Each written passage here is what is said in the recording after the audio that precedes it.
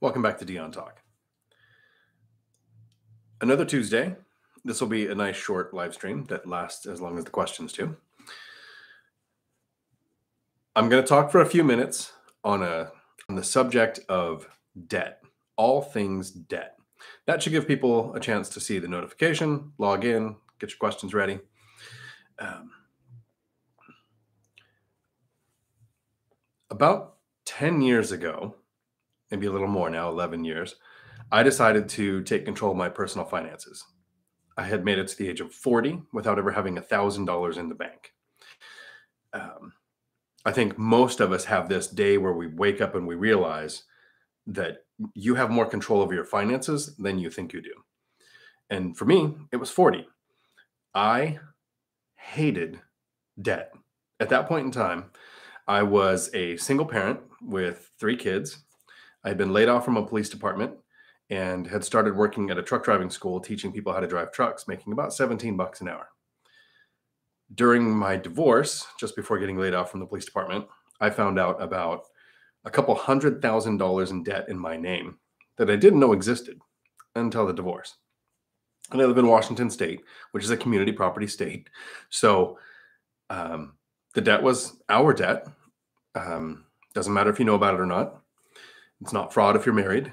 And after the divorce, she filed for bankruptcy. So our debt became my debt. Wasn't making a lot of money. Had custody of three kids. Um, and all of a sudden found out a bunch of, about, about a bunch of bad debt. Not a good position to start from. And so that anybody doesn't get depressed, it took about 10 years to not only reach financial freedom, but reach a positive net worth of over a couple million and get rid of all the bad debt. And ironically, what helped me get rid of the debt was more debt. And if you find that you're in a lot of debt, here's something that I did that actually helped. I found out about a couple hundred thousand dollars in debt, mostly credit cards, a couple personal loans, a an apartment complex where we had rented an apartment that I didn't know about for over a year. That's fun. And a dentist bill and a couple of other things. And I was on the phone with one of the collectors eh, who had, you know, I found out my ex had filed bankruptcy and he asked me if my plan was to file bankruptcy too because if i had intended to file for bankruptcy that they would take about 20 to 25% of what was owed and forgive the rest as long as i didn't include the amount in a bankruptcy which i didn't know was a thing. And at the time i was working in law enforcement and bankruptcy is not really an option because it's kind of a career killer.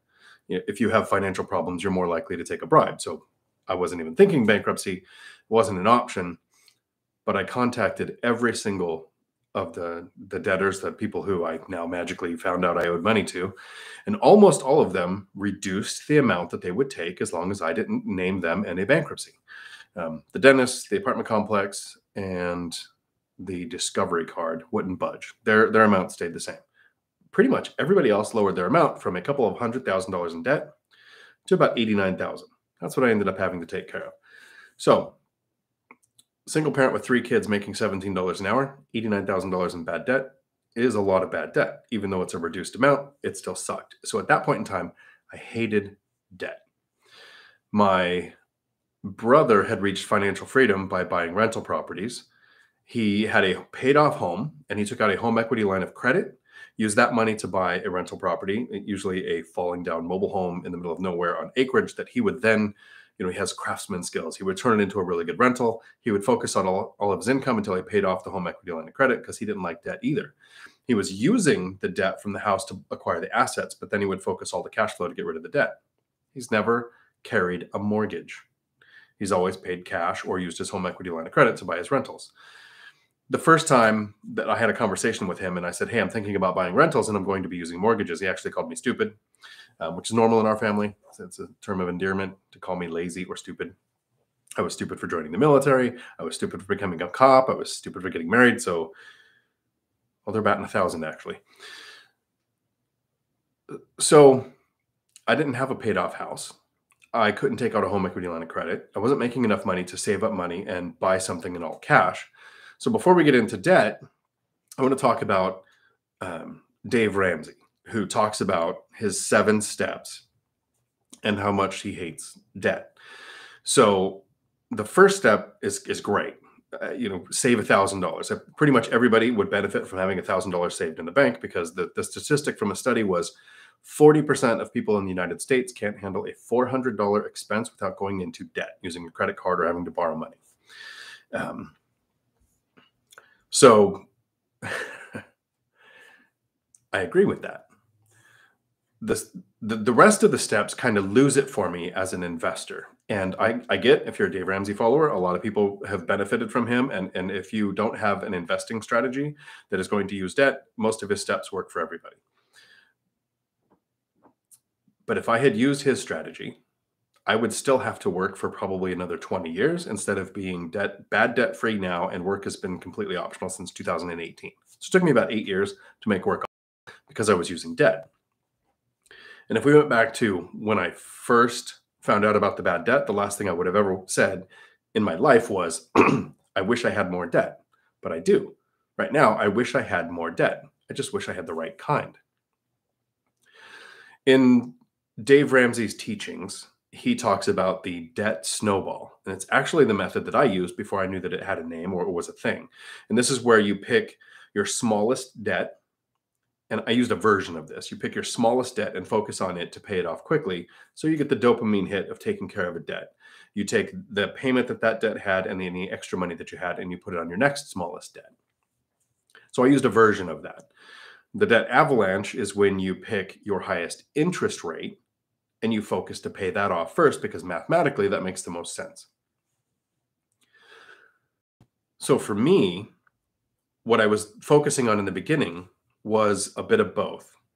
I looked at interest on debt. If I had bad debt, so the credit cards, the personal loans, the things that were in my name that I didn't know about, and I looked at the highest interest rates, anything that was at 6% or higher, I focused on to pay off. So it's kind of using the debt avalanche method because I was going for the highest interest rates first. But I used both because I took all of the debts that were above 6% and I looked at the smallest valued debt above 6% interest and focused to pay that off first. My my mentality was if I have a debt that has more than 6% interest on it and I pay that down, that is like getting a 6% return on my money because I'm not going to be paying that amount of interest. When I look at investing, the path that I saw for investing, and I, I used buy and hold, small multifamily, and house hacking. I've house hacked twice, and I'll cover what that is if it's your first time to my channel. I used house hacking to reduce or eliminate my housing expense so that I can speed up the ability to pay off the debt and the ability to save for the next investment. When I invest in a rental property, my return first year is 10% or better. So if I can take my money and invest in a rental property and get a return, that return can be used to pay off debts. And in my mind, if it was 6% or lower, it made more sense to acquire an asset that paid me more than the debt costs on the asset so that I can use that cash flow to pay off the bad debt.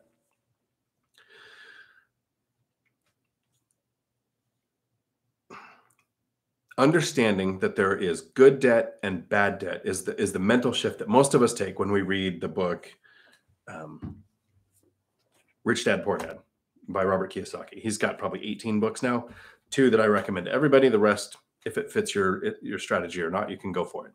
But the first one is rich dad poor dad, and that's where we realize the difference between assets and liabilities, and it it kind of covers good debt versus bad debt. And then and then after I cover good debt and bad debt, I also want to cover weird debt. And so once I cover that, let me know if you've heard about weird debt before too, because there's debt that's not really good or bad; it's just weird. If you buy a car or you have consumer debt, credit cards, personal loans, payday loans, things where you are borrowing money to buy things that aren't going to make you money. The house that you live in, if you buy a primary house that is, you, you know, you're not going to rent out the rooms. You, you you might have an asset when you sell it and you might profit from it, but while you're living in it, it costs you money. To me, these are all forms of bad debt there is a benefit to owning a house. So even if you're not an investor, I would still recommend being a homeowner over being a renter in most cases. But if you buy a rental property, or if you borrow money to start a business and that business generates more money than the debt causes, or if you use margin when you're investing in stocks, it is possible to generate money from debt. So there's bad debt, which is the consumer debt, and then good debt is debt that makes you more money than the debt costs. And in my case, bad debt or good debt is when somebody else pays off the balance on a rental property. A part of the the mortgage payment that you make every month from the that you make with the rent money pays down the principal. So understanding good debt and bad debt is one of the first steps and then figuring out how to get good debt. I had a bad debt to income ratio. I had a lot of debt. I wasn't making a lot of money. So I couldn't just go out and buy a rental property. In order to do that, to get around that hurdle, I moved from my house into an apartment and rented out the house for two years to get rental income on my tax returns. After two years, lenders were able to look at the rental income of the duplex I was looking at in my debt to income ratio so that I could buy a property, even though I still wasn't making a lot of money and still had a bad debt to income ratio. When I moved into the duplex, that created almost $300,000 more debt than I had. Remember, I had $89,000 in bad debt, and I paid off some over those two years. I was saving at the same time. About half of what of my what you would call extra money that wasn't being spent on living expenses went to pay off everything that was over 6% interest and half went into a savings account so that I can get into a house hack because I wanted to re- reduce or eliminate my housing costs, which is our, for most of us our biggest expense. So that was my focus. While I still had bad debt, I was saving for that first investment. I moved into the duplex. It was um, about three hundred thousand dollars. There's closing costs and, and, some very small immediate repairs. I buy places that are either rent ready or already occupied. So I'm not doing rehabs. I'm not doing the BRRRR method. I'm not doing a lot of work. I move into the duplex and I go from the debt on the house and the eighty-nine thousand dollars in bad debt. I add almost three hundred thousand dollars in debt because I use a five percent down owner-occupied loan. So I had saved up about twenty thousand dollars, which meant that I needed fifteen thousand for the down because it was five percent of three hundred thousand would be fifteen thousand dollars. And then there was closing costs, uh, you know, the appraisal, the inspection, those kind of things. Um, and some of that was covered by the seller. This was before it became a seller's market, and sellers were covering some of the closing costs. You have to have reserves too. So that's an amount of money that you'll need to save if you go to buy an investment property or a house hack or even a home that you live in. And at the time, what I did is I had some money in a retirement account, which I have since emptied because I have a list of reasons why I don't want any money in a retirement account. But at the time, lenders would use 50% of the money in a retirement account, and you don't have to take it out or tap it or anything, but they'll take 50% of that and count it as a reserve. So that's how I got the duplex. I created three hundred thousand dollars in debt, about basically it's two hundred eighty-five thousand so or so, in order to reduce what I was paying for housing. In the apartment, my my housing cost was fifteen hundred dollars a month. When I moved into the duplex and the other side was rented out, I was paying about three hundred dollars a month. So that meant I was able to save to invest or to pay down the bad debt an extra twelve hundred dollars a month because I created $285,000 in debt, which is good debt because the other side was rented out. And now I'm house hacking another place. So that first duplex, both sides are rented out. It's profiting over a $1,000 a month now. And each month, the tenants that pay me the rent, I take the $1,000 that's profit. I set aside money for repairs and vacancy and maintenance.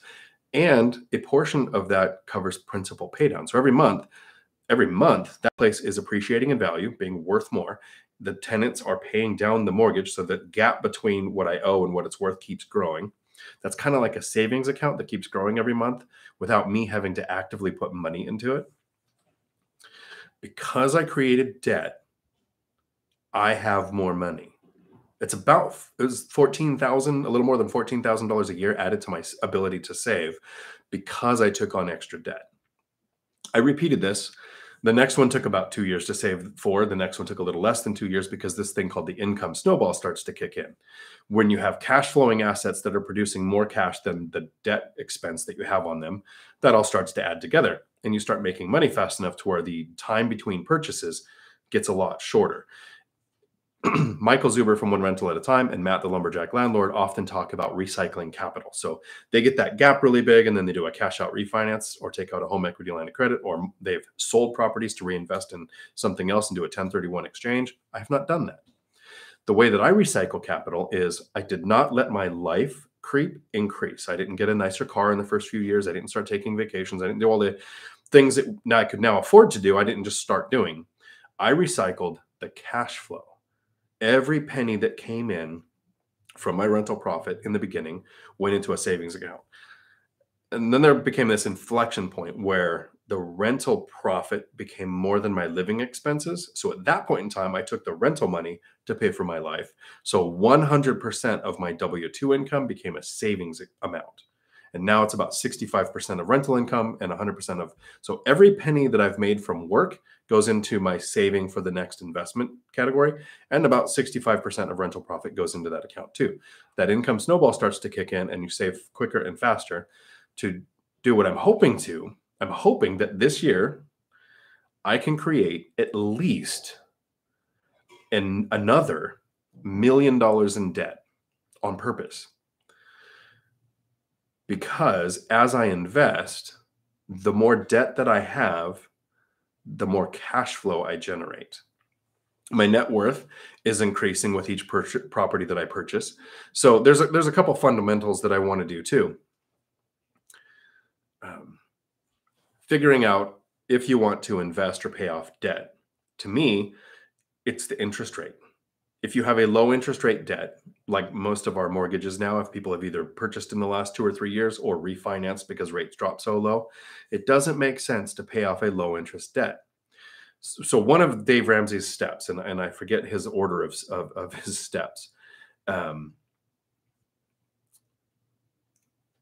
so first it's save a thousand dollars and then it's pay off all debt except for your house, which I guess if if the debt was considered a high interest rate, I'm, I'm on board with that. Then you want to save three to six months of of emergency funds, which I agree with. So two of the first three steps I agree with 100%. Then he says to invest 15% of household income to a retirement account. So I've, I've got a, a, list of reasons why I don't want any money in a retirement account. Um, if you don't have any form of investing that generates cash flow, and a retirement account might be a good idea, but in my case, since my goal is to generate cash flow, uh, there's no there's no reason for me to have money in a retirement account other than investing for the match from an employer in a 401k or a simple plan. But even that, that's money that's trapped away that's not paying me now. It's not giving me cash flow to save or invest. It's not gaining me four times the amount that I've invested in appreciation because I've used leveraged on a, on a rental property. It's not getting me principal pay down. And the tax benefits of a retirement account are terrible when you compare them to the tax benefits of real estate. Um, so after saving the 15%, Dave Ramsey says to save for kids' college. And for me, if if you want your kids to go to college, there are a couple of paths to take. Uh, first, saving for college or a trade school kind of goes into the same bucket. There are some accounts that you can save for that. I really like what Brandon Turner from BiggerPockets did. And to save for his kids' college or vocational school or investing, when the kid was born, when his daughter Rose was born, he purchased a fourplex in Aberdeen, Washington. The place cash flows about a thousand dollars a month. So he buys an asset that he cash flows from, but he buys it on a 15 year note. So when that kid turns 15, that property is paid off. Before the kid turns 18, he will do a cash out refinance, take out the value because the property is paid off and it will have appreciated over that time.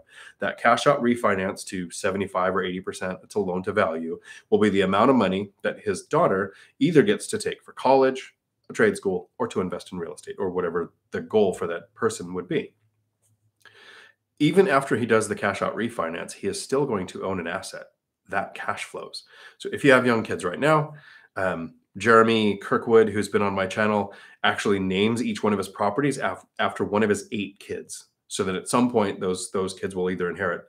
I don't know if he's going to inherit the property or the cash out refinance money or whatever his strategy is, but there are, is a way to save for your kids' future by using debt to invest in real estate.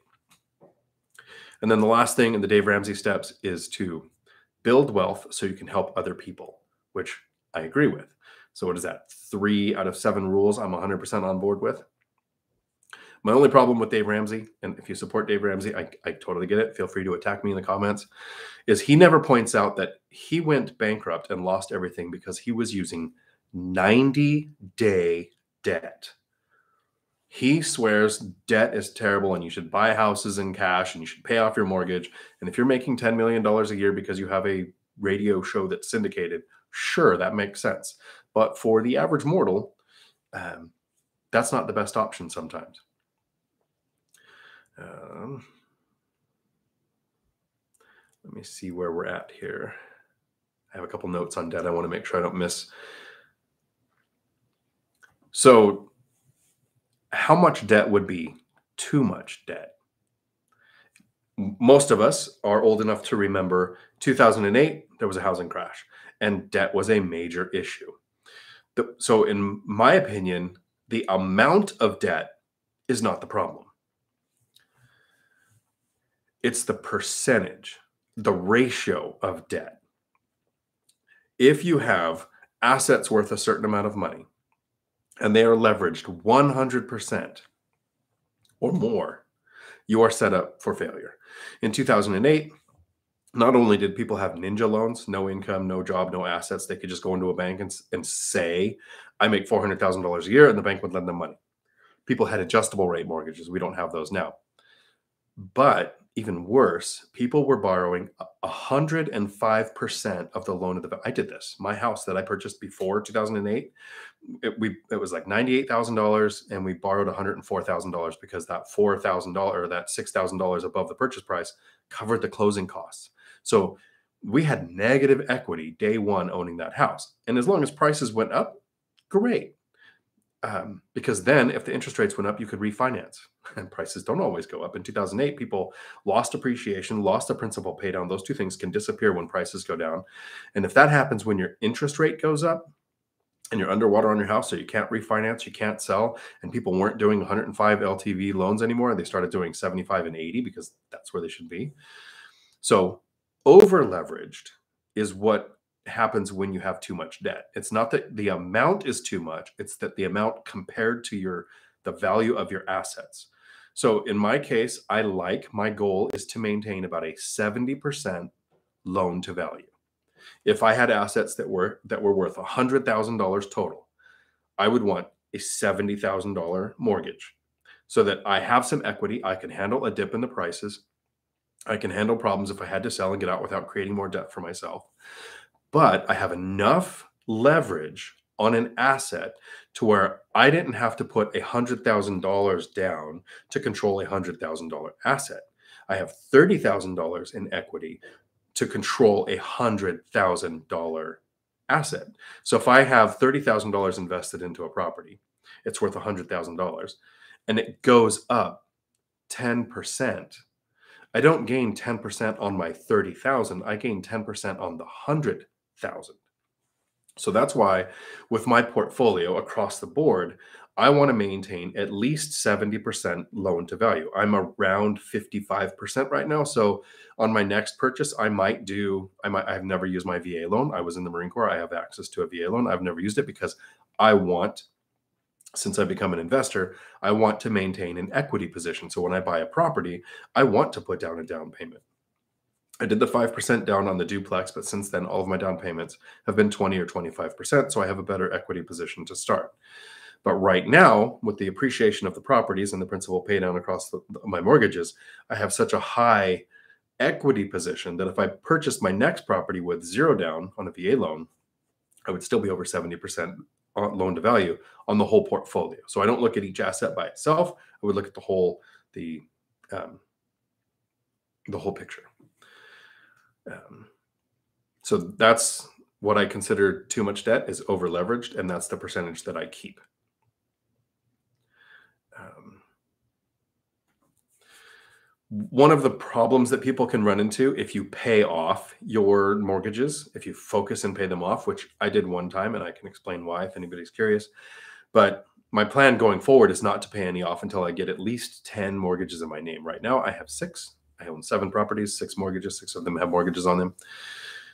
If you pay off the mortgage, at some point you have you will not have enough depreciation or write-offs to where you might have a tax obligation on your rental profit, which is not technically a bad thing. Never pay interest to avoid taxes. Like, don't create debt so that you don't pay taxes because the cost of the debt would be more than the tax benefit. When you buy something, take advantage of the tax benefits. So I think people say don't let the tax tail wag the dog. If you have the opportunity to take advantage of write-offs and depreciation and things like interest on a loan, you take advantage of it.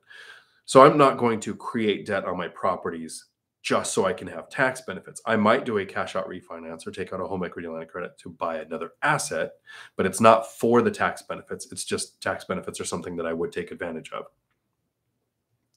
So in in this instance, understanding yourself is the first step. Do you have the discipline to not create bad debt? You know, not get a high interest car loan or buy more car than you should or buy more primary residence than you need until you have the cash flow from assets to pay for it. Can you use a credit card and I buy absolutely everything I can on that credit card because it has cash back. I want that cash back reward. I've never carried a balance on the credit card though. If you if you there was a myth from the 80s or 90s. I mean, the credit the FICO score was um, proposed like in the 60s and in the 1989 it finally became the credit score system came out so there's a myth from the 80s or 90s where people said if you if you carry a small balance from one month to the next it helps your credit score which is not true making sure you use less than 10% of your available credit has a positive impact to your score but carrying a balance does not so I pay my credit card off every day to make sure that I never have that negative impact. And my credit score is not great. It's about 800. So there are people with higher credit scores. So if you have another channel that you watch where they teach you how to do credit scores, great. My goal is to keep it at 740 or higher because when you're getting mortgages on rental properties, there's no difference to the lender between a 750 and an 850. Anything above 740 gets you the best rates. So my goal is to keep it and it fluctuates every time I buy a mortgage or something, or buy a mortgage, get a mortgage. It drops my score down to 780. And then two or three months later, it's back up to around 800. Um, so if you don't have the discipline to use a credit card and pay it off to where you never carry a balance, then maybe a credit card is not the best option for you. Um, so that first part of this video at some point will probably be pulled out and put into a separate video on its own. Those are my opinions on all things debt. There's good debt, there's bad debt, and like you saw in the thumbnail, there is a time to pay off debt, and there is a time to create more debt. So let me get to the the howdies. Um, and I see that Michael Smith, hopefully you're here. This was put up, this was a comment a couple hours before we went live today. Um, question. So, howdy, Michael. Dion, will rent prices fall if houses prices fall? My fear is buying market buying market fall and being stuck upside down on price. That has happened to me. I was upside down on my house. Prices dipped down. I owed more than it was worth. Then if rent prices fall, being underwater every month. They're on the way up, they're kind of related. As prices go up, rents follow. There's a couple factors pushing prices up right now, but more people buying means that prices of houses are going to increase. And at some point, it will become so high that they're coming out with first time homebuyer programs where lower down payment, down payment assistance, jumbo loans went higher. And the most scary thing I've heard in the last couple of months, lenders are pushing for adjustable rate mortgages so that homebuyers can get in on a lower payment in three years from now, we'll have another housing crash. So be ready for that. But on the way down, rents and prices don't track. In 2008, when there were all of those foreclosures and a lot of people lost their houses or had purchased houses they, that were more expensive than they can afford, and foreclosures happened, that created more renters. In 2009, there was a short dip in rents when everybody was afraid and hearing there's a housing crash going on and the stock market had the problems going on. But at the end of 2009, 2010, 2011, rents went up. Buy and hold investors who weren't looking to flip or wholesale made out. They they they did really well. So in in if housing prices go down, to me with my portfolio that would be a good thing. I'm not flipping. I'm not recycling capital. I don't need to take out a home equity line of credit or do a cash out refinance. I'm not worried about the equity in the houses. I maintain at least 30% equity so I could handle if I ever had to sell, right? I'm not going to take pocket take money out of my pockets to sell an asset. But even if rents plateaued, if prices go down, I get to go to my county tax assessor and show this is what the new comps are. Prices have come down, so my tax obligation would go down, increasing my operating uh, profit because my expenses would go down, the rents would stay the same. If something happens that causes housing prices to go down, there are specific markets where it can, the rents can drop. If you live in an area where, let's say, hypothetically, they make a bunch of cars and all of a sudden all the car manufacturers move to other countries, that place might still not recover, right? So there are pockets of markets that don't that don't do well and can lose rent. So one of my strategies to avoid that, and there are many ways to invest in real estate. There's no one right way, right? There's no right way to do it. There is a right way for you, and the right way for me is small multifamily. I, I want four units or less because one of the things I really like about debt, since that's the theme for today, is getting 30 year fixed rate debt. Five units or more, you usually get commercial loans that have a loan reevaluation period or have an adjustable rate mortgage. So I don't want those. I want 30 year fixed rate debt. So when housing prices go down and we get more demand on rentals, like I said, rents can go up even if housing prices do end up going down. So that's not a concern I would have. But I don't want all of my small multifamilies in a tight area. Another reason why I prefer, you know, four units or less is if I were to buy a 12 unit complex and it was in one spot, my tenants are pulled from one source. So if it's in an area where a bunch of companies shut down or a port closes or a base moves away, I might lose all of my tenants. But if I buy duplexes, triplexes, and fourplexes that are all at least 10 miles apart, they're drawing from here in Washington. Some are Boeing, Amazon, Microsoft, Joint Base Lewis McChord, the state capital. So my tenants come from different sources to where there would have to be a catastrophic event where multiple types of um, economic drivers would go away. So that's how I avoid being in one pocket market that could be negatively impacted by something changing like manufacturers leaving. Don, howdy. Wolfmaster82, howdy. I appreciate everybody coming in today. Um, I don't have a meetup this week like I did last week, so tonight the questions last, uh, the live stream lasts as long as the questions do. John W. Howdy. Hey Dion, thank you again for your help. Happy to help. That's all. Howdy. Sean can shine. Howdy, Dion. Howdy. Daniel Cheryl retracted his message. Howdy. Now I'm going to spend the whole night wondering what that message was like I do every time. Cody, howdy. Uh, North Colorado Dawn, howdy. And everyone else. Pallavi Patel, howdy. John, howdy. Larry, howdy. Phil Nealand, howdy. Daniel, howdy. I'm a I'm a truck driver and have about a hundred thousand in cash to work with. My goal is to leave the trucking industry in one to two years. Should I use part of my cash to buy a tractor and almost double your income in the meantime, or focus solely on real estate? Are you sure you could double your income? The the the mat the depends on how many trucks you have now. If you're going to go owner operator, you're not going to make any money. Your first year as an owner operator, if you own the solo truck, you'll you'll probably make less as a wage than you would as a company driver two trucks, you're probably going to lose a little bit of money. Um, three trucks, you that's where the metric starts to change and you can actually start to make money. So if you're buying a tractor and it's your first one, you're going to make less than a company driver. They'll say, "Oh, you're going to make about $150,000." But you're going to have 130,000 in expenses.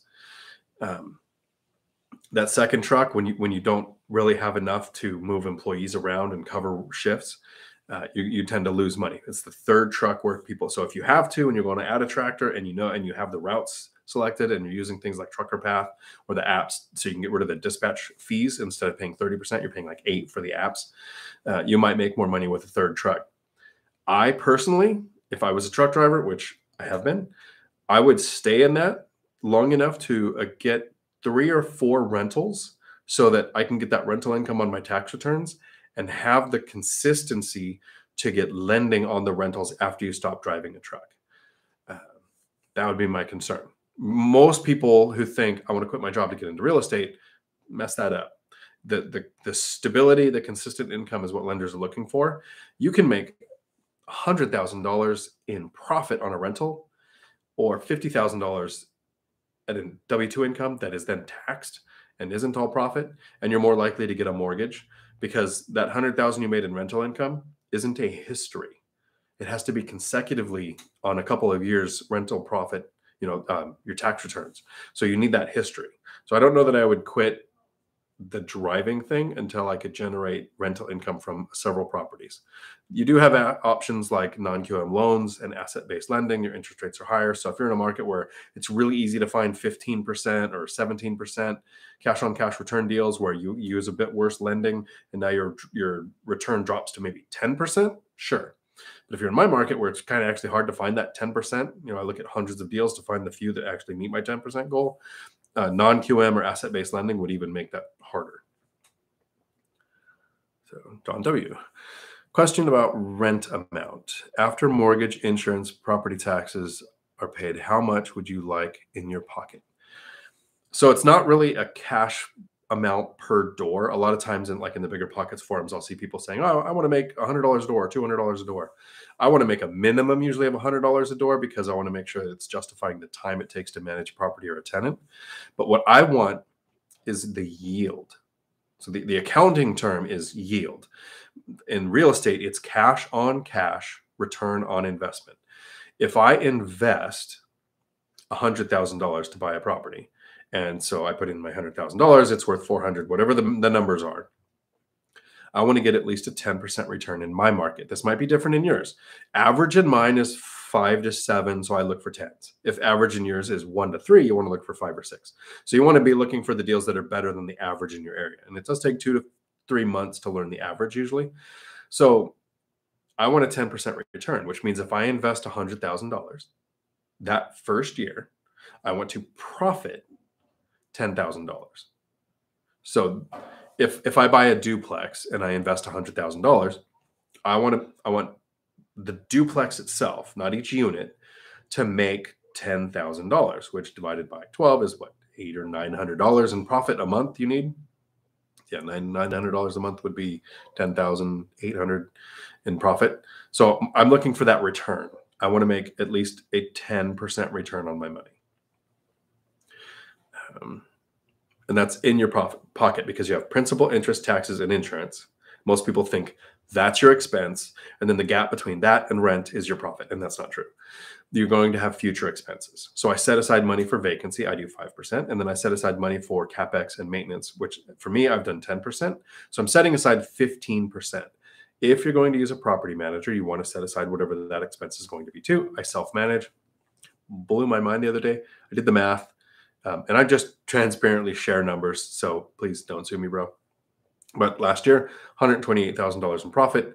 Um, I self managed my 16 units, takes me about two hours a month. So if I did the math on the actual amount of work that it went into manage the properties, to run the properties, I was making $5,333 an hour to do that last year. That's not how it actually works because it was an investment to get that going. And if I self manage, if I hired a property manager, they wouldn't take all of the money. But just the math kind of blew me away when I realized the actual number of hours it took me to manage my side hustle. That was the hourly amount of income after taxes. Um, I should buy some real estate. That sounds really good. Um, Justin, howdy. Nick Post, howdy. Adion can't stick around, but looking forward to the replay. Awesome, because then you can set it at 1.5 and get through it a little bit quicker. Thank you. Tom, howdy. Thanks for introducing Todd Baldwin on your channel. I've been binging his uh, room rental vids. Yeah, Todd's. I, I, watch his content. He is super articulate and intelligent in his videos. He does the research. Um, has some strong political views. So uh, I, I I watch his channel and I love his channel, but it's really easy to lose subscribers if you show which side of the fence you're on on, on almost all political subjects. Um, so I'm a fan of his, and uh, I just would never want to say if I agree or disagree with his political views, whether whether I did or didn't. Um, that's something I want to avoid because I just want help. I want to help people make work optional and to, me, that doesn't matter which side of any political decision you're on. Uh, Jones, howdy. Passed the air brakes combination today and tried to do triples and doubles, but he said I need to actually have a Class A license first. What? That's not true. Maybe you're in a. Are you in Washington State? Because that is not true. You need to have a Class A license to take that test to actually drive, which is something that we just found out recently. So our, yeah, weird. Um, here's something I did find though that CDL examiners that work in the offices at the Department of Licensings in each state deal with CDL stuff about 2% of the time. Most of their time is dealing with regular car licenses. So sometimes they don't know the rules. Here in Washington, our students take the doubles and triples test way before they have their CDL. So good job on the test though. Um, I lost where we go. Okay. Tom, glad to have made it to your life. Thank you. Glad you're here too. Jones, oh, long story short, I passed now to go to school and get road ready. Exactly. Krista, howdy. Hey, so happy to catch you live. It's a first. Nice. This this is how I look live. Um, Tom, you're also a truck driver. Nice. Cool. It's a seriously in demand industry right now. We had a driver shortage before the pandemic, and then the pandemic amplified demand. So we've got local companies doing ten or fifteen thousand dollar sign on bonuses from companies that have never had sign on bonuses before. It's weird. Jones, uh, I'm coming to Washington for you to teach me how to drive. P.S.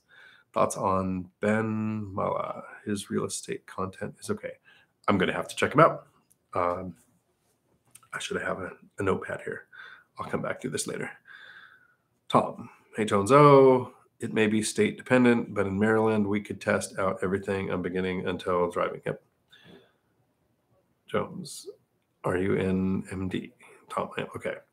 Tom, well, currently parked in PA. Okay. John W. What are some of the main things you look for when driving by a potential property purchase?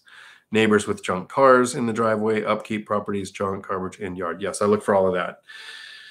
Um, I make the offers before driving by the properties. The closest I come is I do a Google Earth search and go down to Street View and look around at the properties, which could be a five year old picture. So it doesn't really tell you much, but it gives me the layout of the buildings. When I'm under contract, so I've got an offer accepted, I have my inspection period. I will order the inspection, I will order the appraisal, and, and depending on your, you know, the current market, it, it, depends on which one happens first. There's no set chronology to that. I would prefer to do the inspection first so I could pull out before paying for an appraisal. But right now, appraisers are also booked up. It's weeks to get to one. So I order them both. But before they come, I'll go drive by the property because if I see something like it's a war zone and there's mattresses laying in the road and you can't safely walk there, then I call and cancel and pull and would pull out. Haven't had that happen yet because I learned my market. So I know the areas not to make offers in. I would look for noisy streets, which to me this would mean a noisy street would mean I would increase my vacancy rate. You're more likely to have turnover. Doesn't and it might make it a little harder to rent. But if there's a loud club or train tracks or something where I know it's going to be really hard to rent, then I might pull out. Um, I'm trying to think of what else I look for. That's that's pretty much it because I know the areas. Um, a lot of cars would be uh, has been an issue at a at a couple of my rentals. Um, it's not been a deal breaker. Again, the, the the less attractive it looks due to anything in the neighborhood, the more I would increase the vacancy rate. At least in my math, to think if I had a ten percent vacancy instead of a five, would I still hit my return? And then I would pursue, and and it ended up being great because I've had no turnover at the place. The one place where I've had, I literally went there, and you have to kind of drive through it because it's it's a circular area and there's it just seems like everybody there has about six cars per per person. Um, so I've, I have thought of that too. Janet, howdy. How are you? I am almost marvelous. Then we will ignore the porn link. Um, my serenity. Howdy. Jay Markey. Howdy. What type of checking and savings account do you use for rental properties, personal or business? Um, here is how my business looks.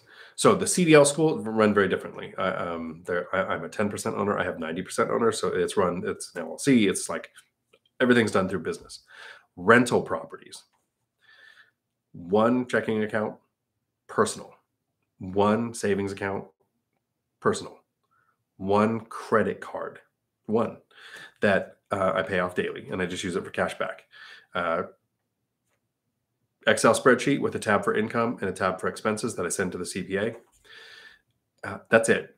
Check your area. You might have the requirement to keep deposits in an interest-bearing account um, that are that are separate. I just have to show proof that mine are in an interest-bearing account. They don't care that it's separate because I'm not in an LC. Everything's in my own name.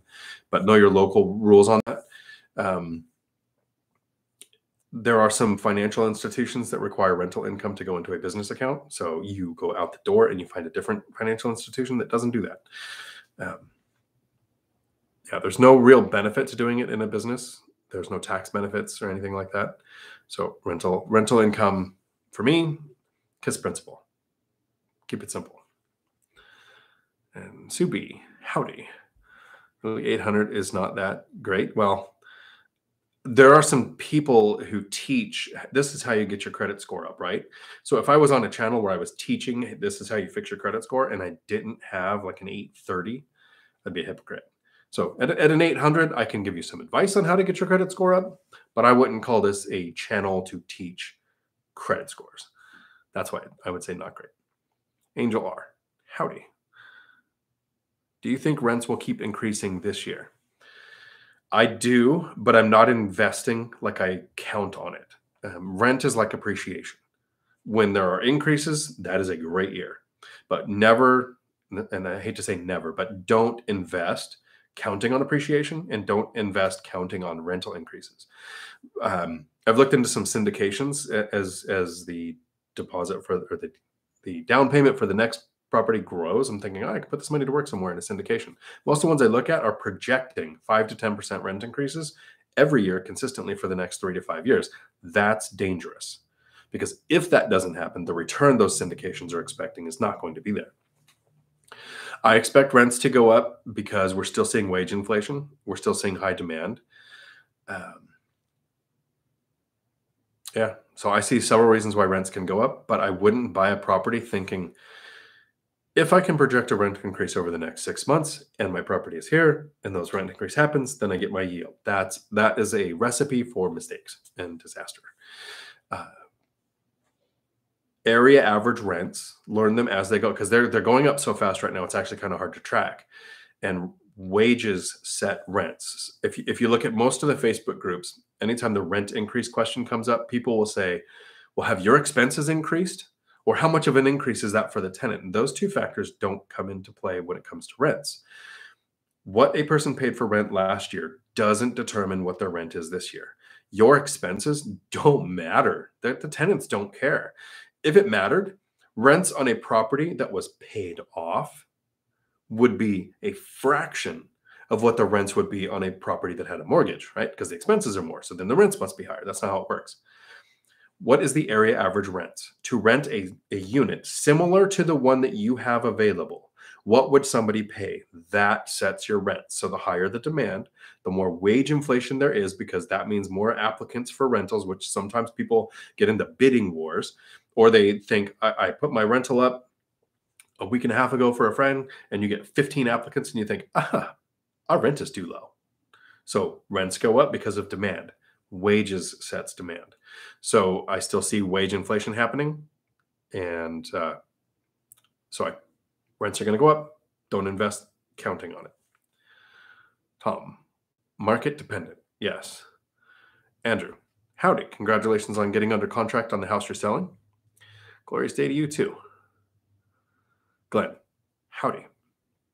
Tom, if prices fall and rates are refinanced down the road, if prices fall and rates are refinanced down the road. If rates go down, yes. Yep. Isaac, howdy. Tom, your howdy didn't post. Howdy. Give you two. Martin, howdy. Howdy. Great to be here. Andrew, update on the short term we are buying next. We are going to pick it up subject to with closing costs down only. Nice. Awesome. And you are under contract for a sale. Is there going to be gains from that uh, that you're going to then have to figure out a place to put it to work? Uh, it's Jax. Howdy. You mentioned you preferred area to buy is Class C. Could you tell me what is obvious sign of Class C area? Uh, I wish I had a link to it. I, I, just need to save it somewhere. Brandon Turner from BiggerPockets has a write up on Class A, B, and C neighborhoods. So if you just Google Brandon Turner BiggerPockets class of neighborhood, it'll pop up and it, it breaks down what is a Class A. So you figure it's a spectrum. A is the the more expensive areas, and D is the the war zones. So Class C is you would generally feel safe to go there. Things aren't fancy; they're usually not gated communities. Uh, you you'll have it's not next to a 7-Eleven. Maybe it's next to a Panera Bread, or you know, like a, a the people who live there are your your regular working people, cops, nurse, teacher, that kind of stuff. Your class B is almost your McMansions, your bigger houses, your your three thousand plus square foot houses. Not a lot of small multifamily. Normally, normally gated communities. And Class A is your your Scottsdale, Arizona areas. Your your, your fancier side of town. Each town usually has each type of property in it. But I like Class C because people will move from Class A or B down to a Class C in in in a bad economic time to save money.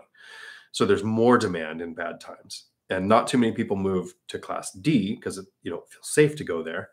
Um, so it's it's it's kind of to me the safest bet, and I'm a lot more comfortable when I rent out a three bedroom for two thousand dollars a month. I feel like if that person moves out, it's going to be fairly easy to find somebody else willing to pay two thousand dollars for a three bedroom in this area. If I have a three bedroom house and it's rented for six thousand a month because it's a Class A neighborhood and the mortgage was it was uh, $1.5 million to buy it. Finding a $6,000 tenant in a Class A neighborhood, I would not sleep at night thinking if my tenant moves out, I'm going to be covering a huge mortgage while I find another tenant. But in my Class C areas, I, I put a posting up. And my last one that I did for my personal self, I had 12 applicants within four hours, and it almost became a bidding war for rent.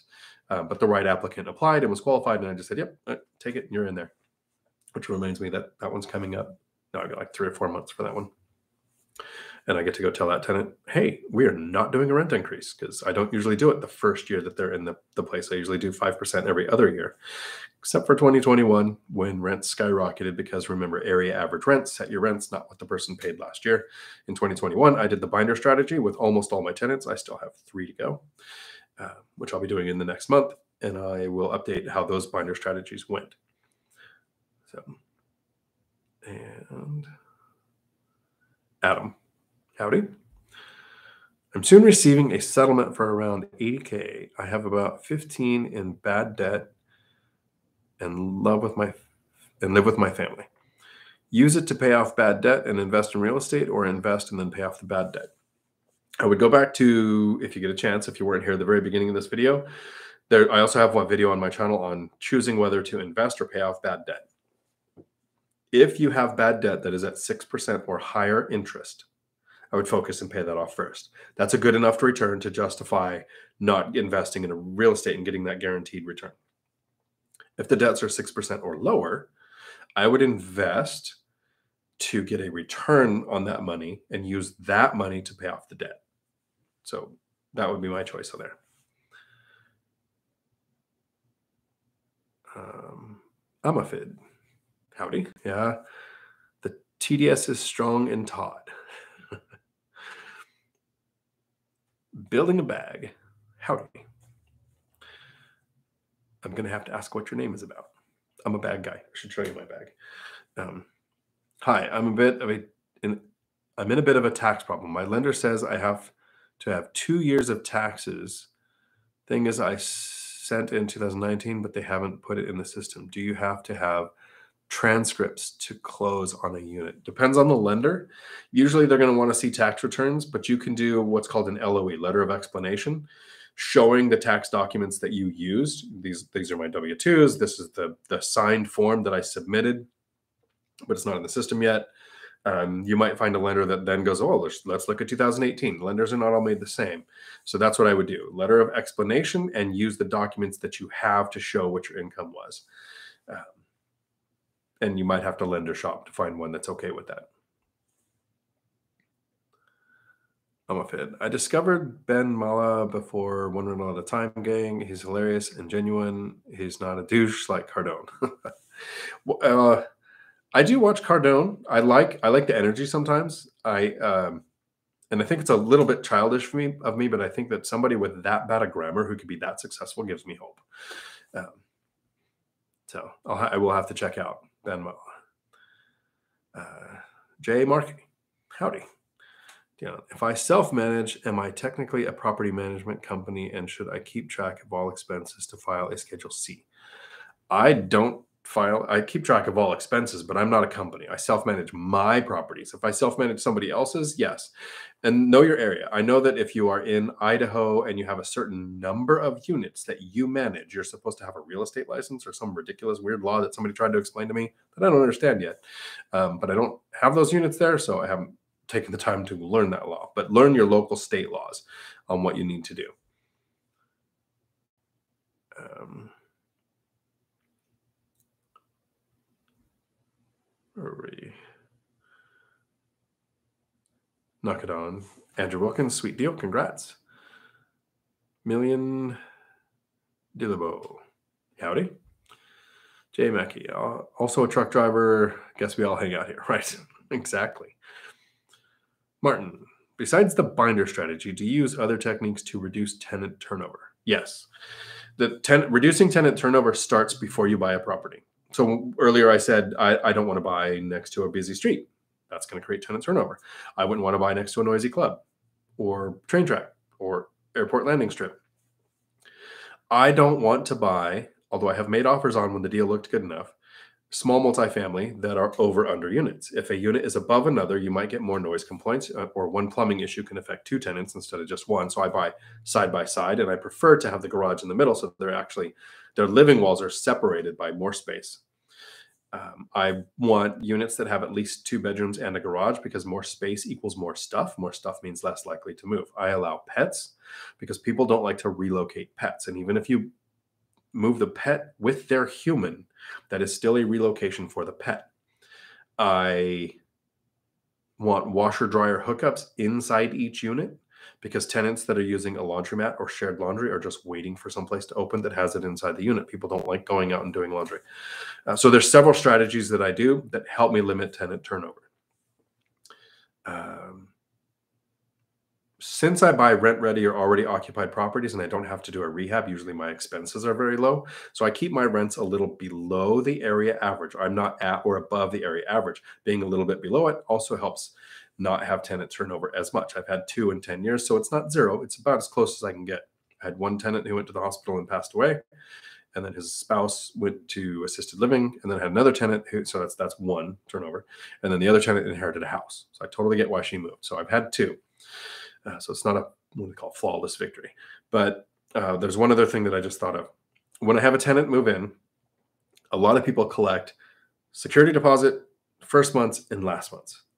I do not collect last month. It gives the tenant the perception that their last month is paid for as long as they move. Every time they renew a lease, it pushes off that paid month that they've already paid for to the end of the lease again. I don't want to do that. So I collect first month and deposit.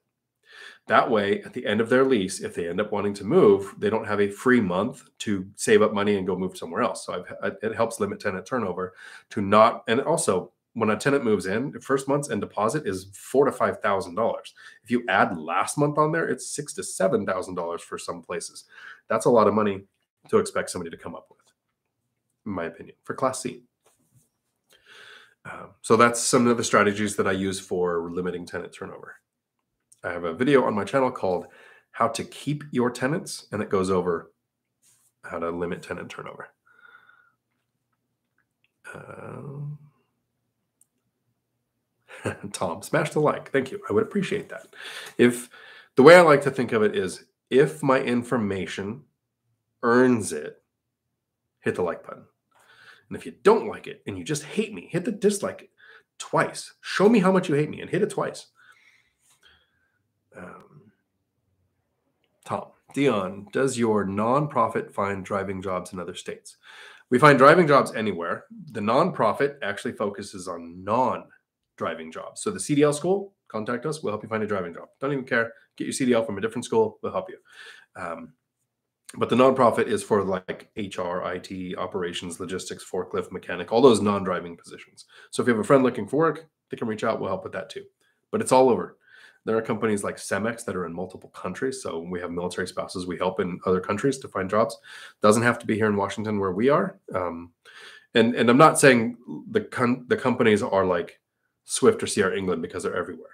Companies like Oak Freight Lines and Reddaway and YRC and, and local LTL companies are located in every state. So, yes, I think I answered that too long. Um, and then I lost, let me see.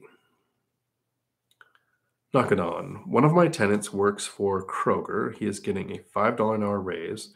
So wages are going up. His lease is coming due in July. Break out the binder again. Exactly. What is going on in that market? That will determine where the rents go. Andrew, no gains. We live in the house. We're selling for four of the five years, 240 gain. Right. So, and I, I forget, Andrew, if you're married, but um, you had up to 500,000 in gains for no taxes, but you have to, you got the 240 in gains to put to work. That was what I was looking for. So if you lived in it, yeah, you definitely, yeah, it, it is the IRS 121 exclusion, where if you live in a property for at least two out of the last five years, you don't have to pay taxes on capital gains for up to $250,000 per person if you're married. So up to be 500. Say, uh, it is almost like there is a place called Congress that is full of a bunch of people who own a bunch of real estate and keep making rules and laws that help people who have real estate. It's it's, it's really odd. Um, Million. Dion, did you say 15% for expenses, maintenance, and capex? So 5% for vacancy and 10% total for capex and maintenance and repairs. And even in years where I've replaced a roof, I haven't come close to, to spending that. Um, if you're buying older properties that haven't been updated, you can you can adjust those rates higher. If you use a property manager, you can adjust that rate higher. I've never had a vacancy. My two tenant turnovers, the, the one I had four days to get the house ready, and the other one it was like tenants are out, tenants are in. So I've never had an actual extended vacancy. I still set aside 5% because I could have a vacancy. If your vacancy rate is higher, maybe set aside more for that. So the total that I would set aside is 15%. And really, when I buy a property, I run the math to make sure I'm getting my yield as if I set aside 15%. But I have a video on my channel called How Much in Reserves. So when I had less than I had seven or less units, I, I kept ten thousand dollars in a reserve account.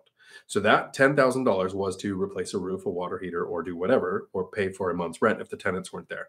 If that ten thousand ever dipped below ten thousand, fifteen percent of gross rents would go into that to fill it up to ten thousand. Once I got more than seven units, so I'm at 16 now, I keep $30,000 in that account. So anytime it's below 30, 15% of gross rents go back in there to fill it back up. When it's at capacity when it was at 10,000 or now that it's at 30,000. I don't keep setting aside 15% of gross rents because somebody did the math for me last time. Uh, $23,000 in gross rents, which has gone up now because of the binder strategy a couple times. I'm getting like a $1,200 a month personal raise starting in February. Um, it's like you should buy some real estate. It's good stuff. 15% instead of going into that $30,000 account because it's full goes to the investing account. So investing the, the timeline to buy that next uh, cash flowing asset gets faster because the extra money goes to the investing account. One thing I make sure is that that 15% is never in my lifestyle column because that would be money that I need. And if that account ever went below 30, I don't want to need the money that I'm going to refill it with.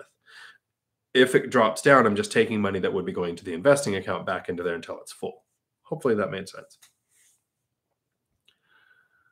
Um, Dion, did you say 15%? Okay. J Mark, Dion, just curious, why not increase rents by a fixed amount at each lease renewal, something small like 2%? because when I first purchased the property, I usually did the binder method and the tenants in the beginning because they they're usually so far below area average and they've been neglected and then I, I wait two months to kind of screen them because I didn't get to, to do a background check and I do the binder method. A lot of times those tenants almost every time have requested that two-year lease because they asked for a 300 or a 450 dollar rent increase that's a big increase which is and it brought me to my return so I don't need each deal to make me millions of dollars. I want them all to be good deals over time to buy financial freedom. So generally, it's a two year time between when I did the binder and when they're going to do it. So that one year there isn't going to be an increase. So when I talk to them, I've either set the pattern where every two years we're going to sit down and do this binder method, or in in from you know 2015, 16, 17, 18, when rents weren't going up very fast, five percent every two years. To me, the tenants were really happy because they had a year with no rent increase. And sometimes they would have a one year lease and they would renew with no rent increase. And, and the tenants were happy. And they had a whole two years of me saying, in two years, you have this 5% increase coming. Um, but again, in 2021, I did the binder strategy with existing tenants who had maybe been with me long enough to have that two year period and a 5% increase, who then had this. And, and, I don't know what the math is, but going from 1600 to 2000, it, uh, what is that, 25, 20 something percent increase. So that's not the 5% that they would expect, but here's the binder and it was their choice. They requested it. Um, so that's, that's kind of why I would do two years at 5% instead of 2% each year. Uh, Michael Smith, hit the like button. Thank you. Appreciate it. Tom, new topic to explore. Hate your job, buy a house, get a part time job in new industry for two years. Be renting also. Have a real estate empire while working the 7 Eleven. There you go. New topic to explore. Hate, I like that. Hate your job, buy a house, a part time job, I'm always surprised by how many people are in jobs they hate. If it pays more than $100,000, I can kind of see it. But I know a lot of people who are making forty to fifty thousand dollars, and they hate their job. An entry level truck driving job starts off over seventy thousand dollars a year, a local job. So you, you work eight to ten hours driving a truck around your local town, and you park it, and you're by yourself, and you're in the truck there are so many jobs where you can make that 40 to 50,000 that people stay in jobs they hate for that amount. I, I, I always been confused by that. Um, Michael Smith, dangerous question. Awesome. In the current culture environment of the military, would you recommend young people to join for college money, career, or job training? Um, I have a jaded opinion because I almost think everyone should do some time in the military in some capacity. It, it it doesn't make you better, but it amplifies you. So if you go in a pretty decent person, you come out amazing. Uh, I think a lot of people can benefit from being in the military. I I did not use my GI Bill, so I wouldn't say go in there for college benefits. Uh, right now, I don't think unless you have a very specific field that you want to work in, accounting, medicine, or something where the degree matters, I don't think almost anybody should go to college. My son watches my channel, so I don't want to pull him out too much, but he got a degree to run a division at PayPal and is then got his CDL so he can make enough money to pay off his student loans, uh, which he did. Once he got his CDL, it took him less than a year to take care of $54,000 in student loans. Um, but the degree didn't help him get the job. So it, the GI Bill can be used for trade schools, but you can also just go to those trade schools. I don't know that people, I don't think, okay, so you asked the question. I don't think people should join the military for the benefits of college or trade school or anything. I think they should take advantage of those benefits once they have them. But I think people should join the military to, if, especially if, like, if they're like me, I was raised by a racist family that felt like they were just outside of society the best benefit to me of joining the Marine Corps was that was the first time in my life I realized that everybody's the same, that there are good people and bad people in every environment. And and, and before joining the Marine Corps, I my most of my family is still super racist.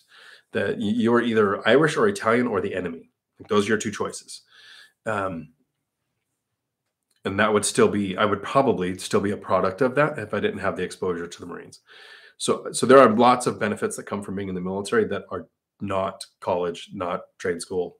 Um, it's it's the leadership skills, it's the fitting in society skills. Um, yeah, so I would like to see more people join the military. Um, so dangerous question. Thank you. Sean can shine. Do you also provide the washer and dryer for your tenants? I do not. Um, washer dryer hookups are important. I want tenants to be able to have those. But if I have a tenant who applies who doesn't currently have a washer and dryer, I don't want to supply a washer and dryer because it's more things that can break that I have to maintain. So I have a set, a washer and dryer that is in a shed that the tenants are free to use because a previous tenant left those there. They're not mine. I don't maintain them. I don't replace them if they break. The tenant is welcome to use them until they buy their own washer and dryer. I have had tenants do that. They use them usually two, three months, and then they say, Hey, we got it.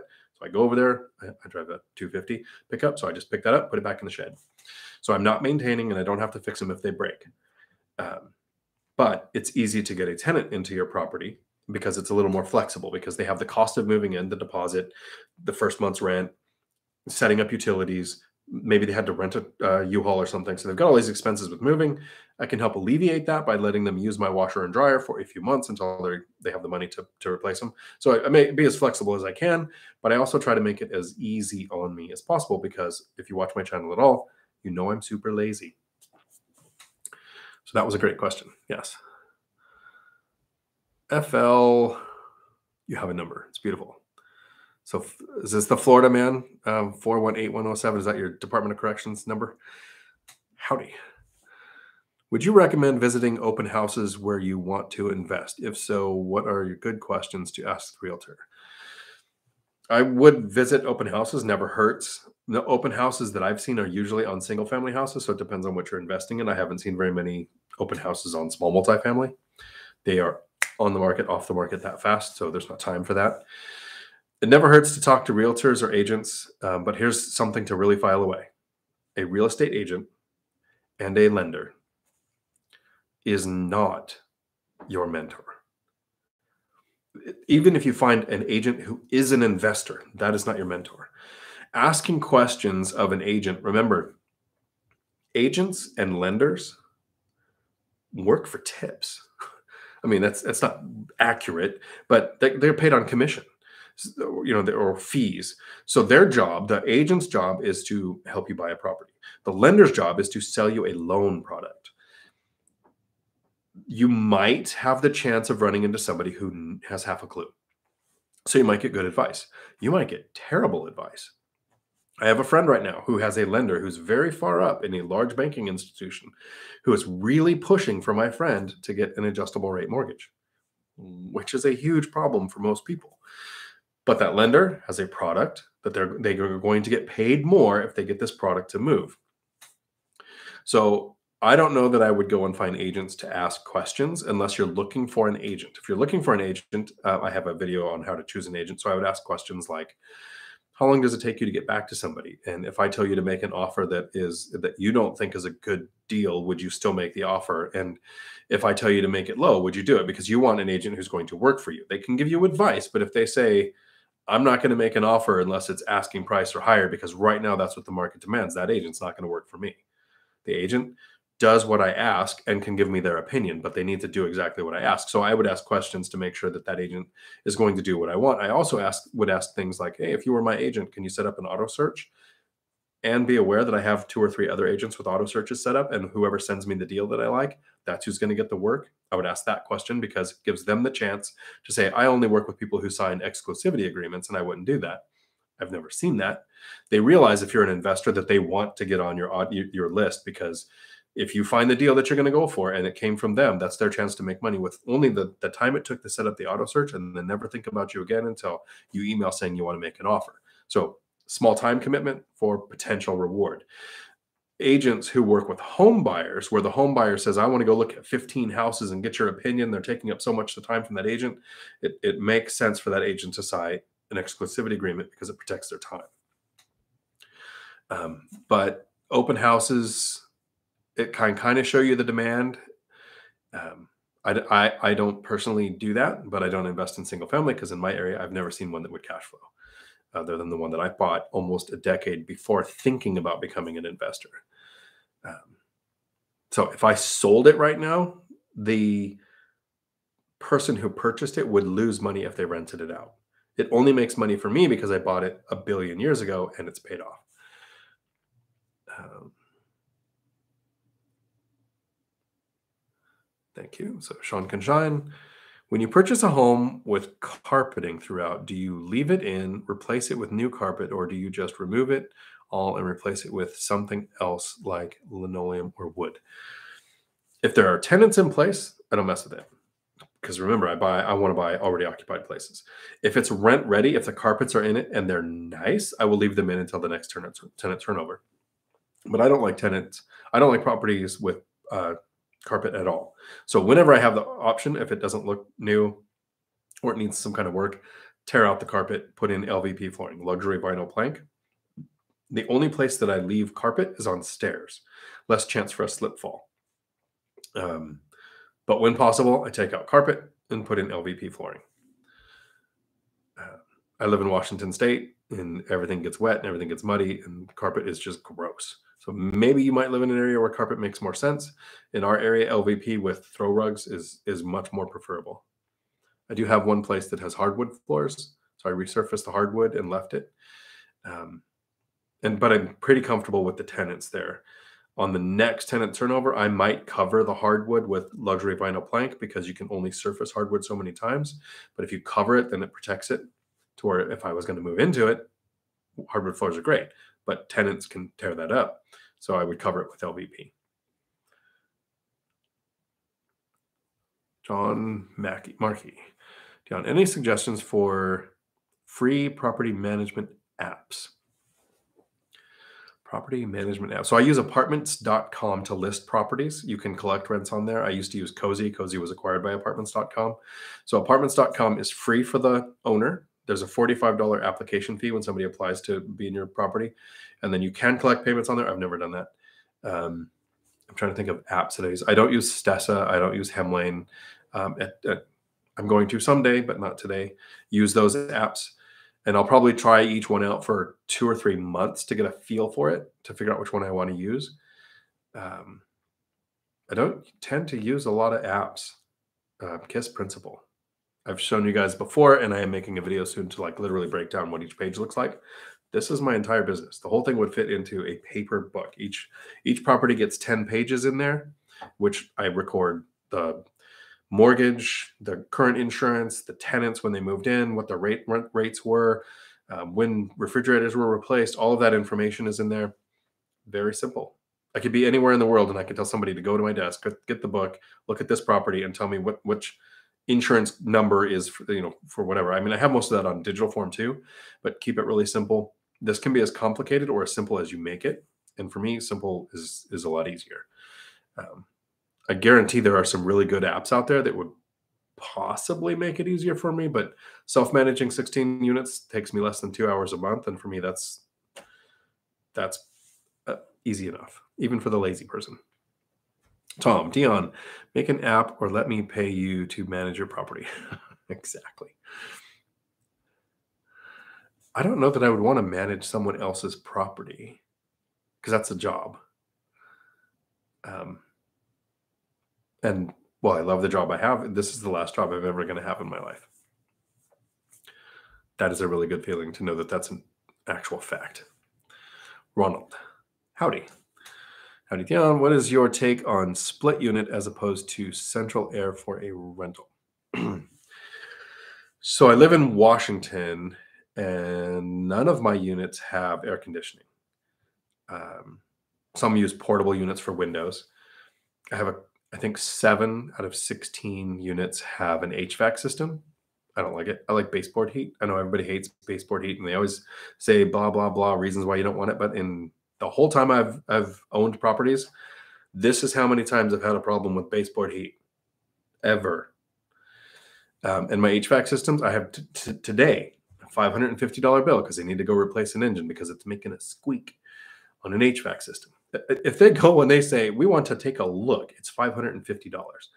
Um, so whenever possible, I would just do baseboard heat. But if you live in an area like the where a swamp cooler makes sense, my brother has swamp coolers at his California properties. It's out in Rosamond, in the middle of the desert. Makes sense. Um, I would figure out what is used the most in your market so that you have the most access to parts and, and repair services and probably go with that format. That's what I would do.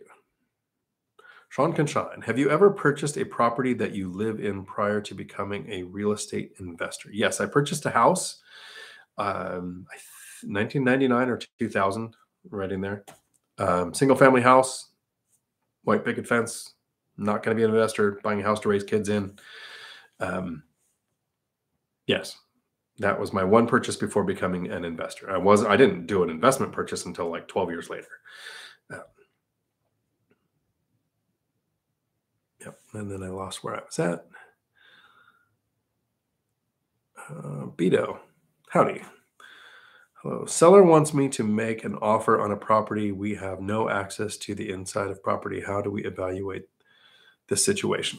Uh, the question would be Will you have access after you make the offer? Because it's very common in my area. You can't go take a tour until you're under contract. You have a five to 10 day inspection period where you get to pull out and not lose your earnest money and you get to pick whether it's five, six, seven, eight, nine, ten days. Um, so that's when I would go do an internal inspection. It's possible that it needs a lot of work. All the drywall can be damaged. All the electric can be bad. It can have knob and tube wiring. It can have bad plumbing. It can have whatever. So depending on the age of the building, um, I would have an inspection clause where you can pull out if you get a chance to go look at the inside because you're going to hire an inspector to go and inspect and then look at the inspection report every single offer I've made in the last seven years, I've never gone and looked at the property. I make the offer, get under contract, and then have an inspector go. Most of the time in the beginning, I would go and meet the inspector there, but the last two or three, I'm like, nope, I trust my inspector. I'm going to get 72 pages of information with pictures and good write ups. I'll know what I need. I have like a to do list once I have ownership of the property. So I would do that, have an inspection period, and use that as the time you go look at the inside and decide if you want to stay or not. So make sure I I I don't have the brains to do it, so I wouldn't make that offer. I would have my agent who has all of the paperwork and works for a brokerage that knows how to get the verbiage right on an appraisal clause and an inspection clause and, and go for if you it, contact your home inspector to see how much time they're going to need because if they're super busy you want to make sure you have enough time to get them in there within the time of your inspection period um, but yeah it's very common in my area to get under contract before you've ever been inside the property Million. When you inherited a tenant, did you make them sign a new lease? To, so if they're on month to month, I want at least year long leases because it's easier to qualify for lending if you have at least three or more months remaining on a lease. So I don't want month to month tenants. You are bound by the existing lease. So if you bought a property right now and the lease ended in June, you can't do anything until June. I mean, you probably can at, at request if both parties agree to, to tear up the lease, but you can't force it. Um, when I have month to month tenants, I do not sign a new lease right away.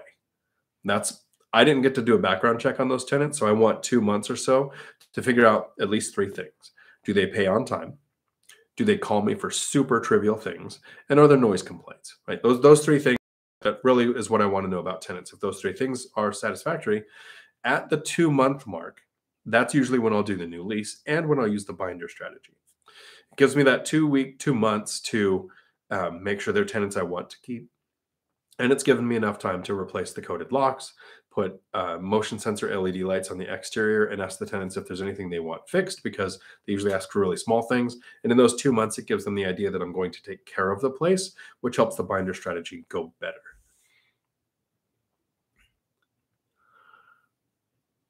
Um, Glenn, howdy. If you're purchasing a house and it doesn't appraise for asking price, do you lose earnest money if you do not have enough to cover the difference? It's de- it de- depends on the offer that you make. There are some times where people waive their appraisal contingency. Then yes, you either lose your earnest money or you have to make up the difference.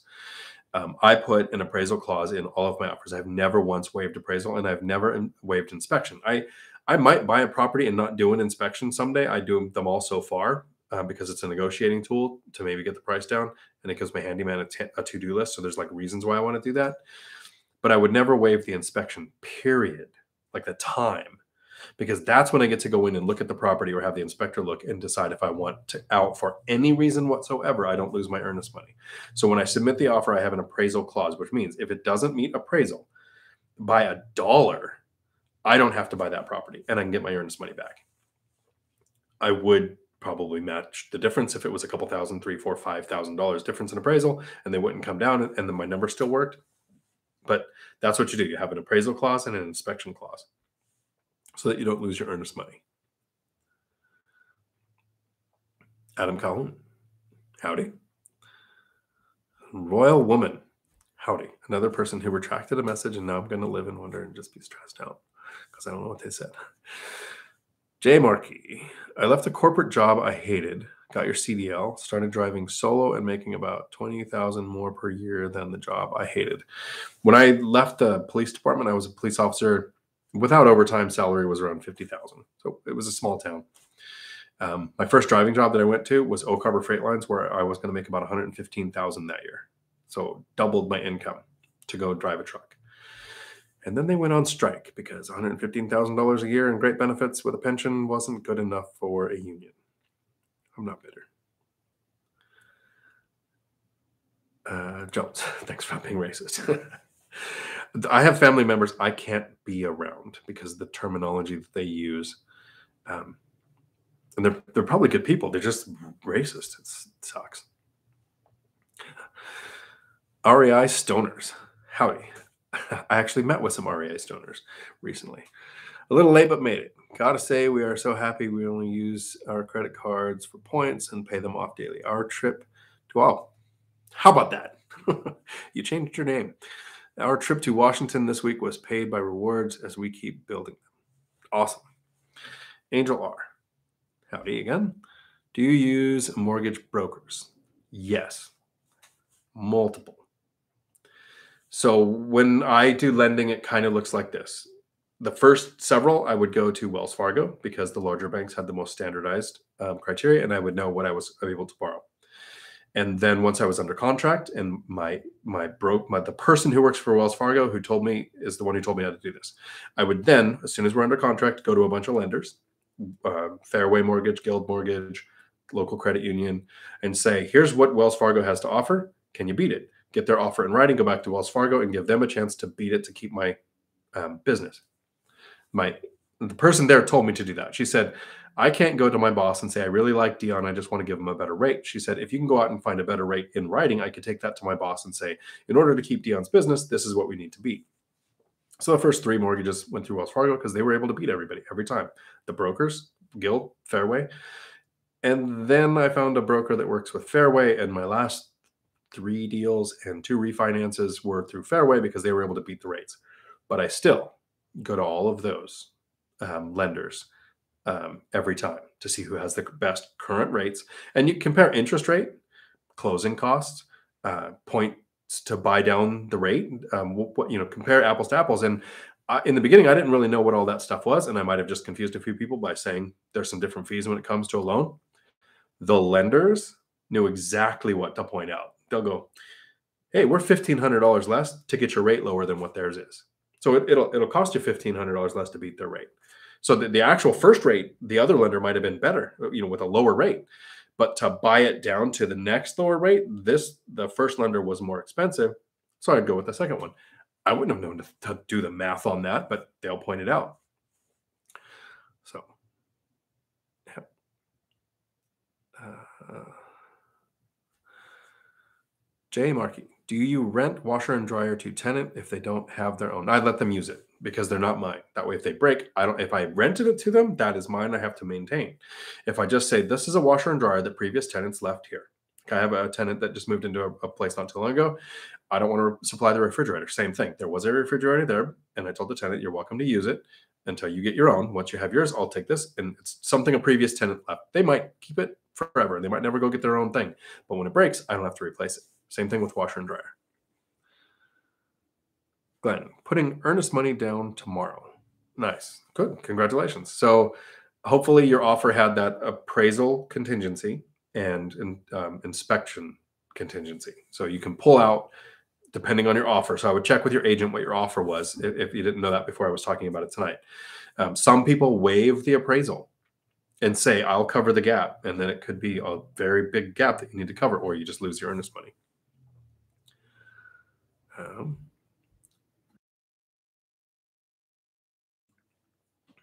and I remember to take it off of mute. I'm not going to talk for five minutes on mute. Who would do that?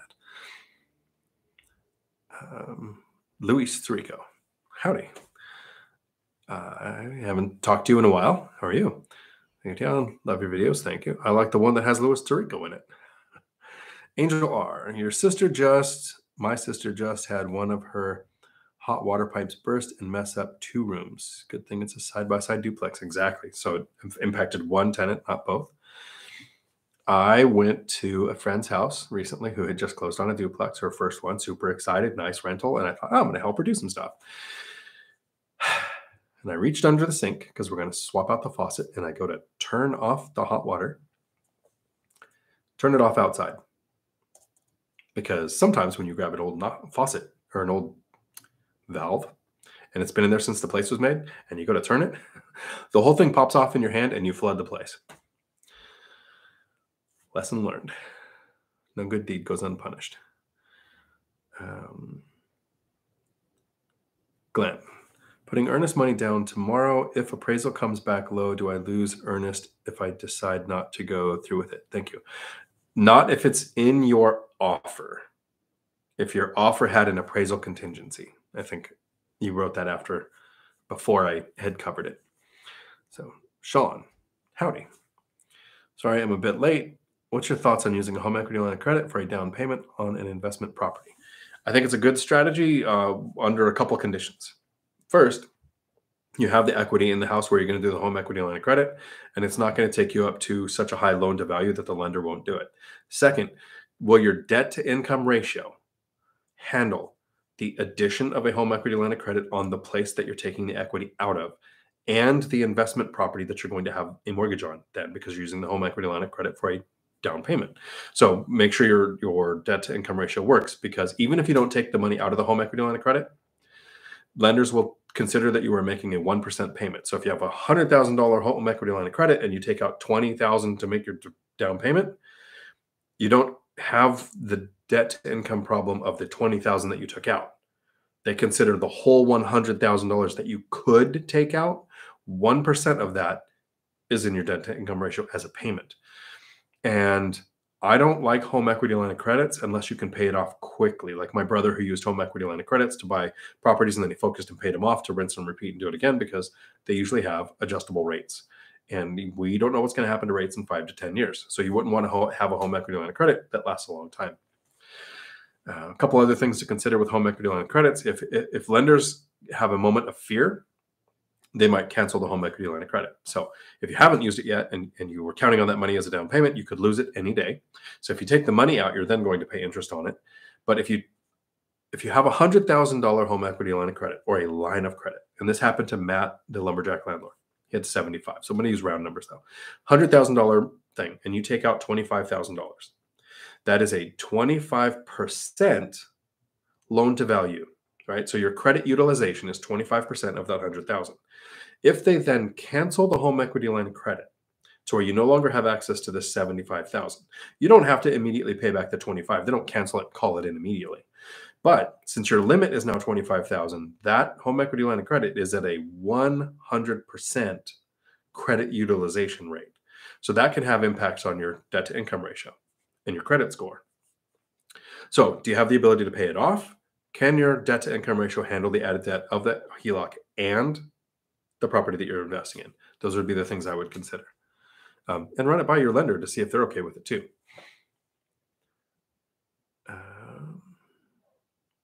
Tom, congrats, Glenn. Yes, congrats. Sean can shine. What made you decide to put your properties and the bank accounts associated with them in your name instead of an LLC? How does it benefit you? I uh, have a very strong opinion when it comes to LLCs and I'm going to make a video called an LLC rant, but not today. I'm waiting and hoping that I get to 10,000 subscribers because when I do that video, it's going to be such a rant that I'm going to piss off a lot of people and I'm going to lose a lot of subscribers. And I want to make sure that there's some people left because, and I can't say this without, I'm going to try to, I'm going to try to say this without emotion creeping into my face. There are times it makes sense to have an LLC. Do you have partners? Because it will protect you from someone else's mistakes. Do you need commercial lending or hard money? Because lenders might require it. There are times it makes sense to have an LLC. There is absolutely no tax benefit by having an LLC. The IRS actually calls them disregarded entities. And there is no asset protection with rental properties if you are the only person or you and your spouse are the only people in the LLC. Piercing the veil is more and more common and it creates all kinds of problems. How do you pay yourself? Lending costs more, insurance costs more, can't represent yourself in court. Like there's this long list of reasons why I don't want an LLC. And the two or three that I named where there is a reason to have an LLC. So so that was as least amount of motion I can put in there because where I'm so frustrated with this is in BiggerPockets, in um, the real estate rookie group and all the Facebook groups. Everybody goes off on how you need an LLC because it separates your assets, which is, pardon my French, bullshit. Second, new investors who have enough to learn how do I find a lease? How do I screen a tenant? How do I collect rents? How do I get lending? How do I find a property? How do I screen a market? Like all this stuff you need to learn. And then you want to sprinkle in learning how to do an LLC. How do you pay yourself? How, how do you run an LLC correctly to where it couldn't have the veil pierced when it when when any attorney can do a five minute google search and just go yep that's the person that owns it all of those assets are tied to it because as soon as you get sued for anything you have to list out your assets which is every llc that you own so there's no asset separation but so many people have heard the myth from cpas and attorneys who get to make money setting up maintaining and filing taxes on llcs that they have people convinced that you need one i'm looking forward to making that video because um, it's frustrating if you have several rentals and you want them in LLCs, go for it. It doesn't hurt you really if you know what you're doing. There's no benefit um, unless you have partners, need commercial lending, or want to use hard money, because um, then lenders will require it. But my frustration is I know that there are literally thousands of possible investors who have been stopped in their tracks because they don't have an LLC. Or if they get an LLC, now they can't get lending because they can't house hack, can't do owner occupied lending under an LLC. And if you just buy the property and then think, I'll just put it in the LLC, you can trigger the due on sale clause and cause a whole bunch of problems for yourself. So the people perpetuating the myth of you need an LLC actually make me angry. Um, but like I said, I don't want to do that video until I have enough subscribers to where there's a few of us left after I go on that rant. Um, Hashtag not investing advice. Thank you. Perfect. Because it's not. This is for entertainment value purposes. Carrie, howdy.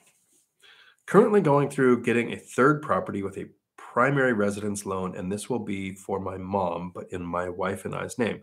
Have you done a loan like this? I have I done a loan like that? Could have. Um, have a, I have two family members that are currently renting units from me. Um, that's actually a side topic I could probably cover if we have time for it. Um, where I could have said, you know, this is my daughter. She's living there. She's renting my place. So uh, it's an owner occupied loan. Use use her owner occupancy on the mortgage.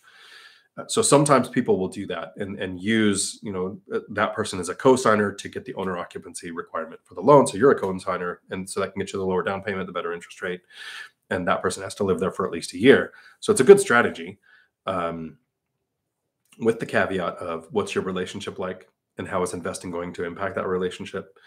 Um, if if they're going to get a reduced rent when they live there, or, or, or you know what's the benefit to them.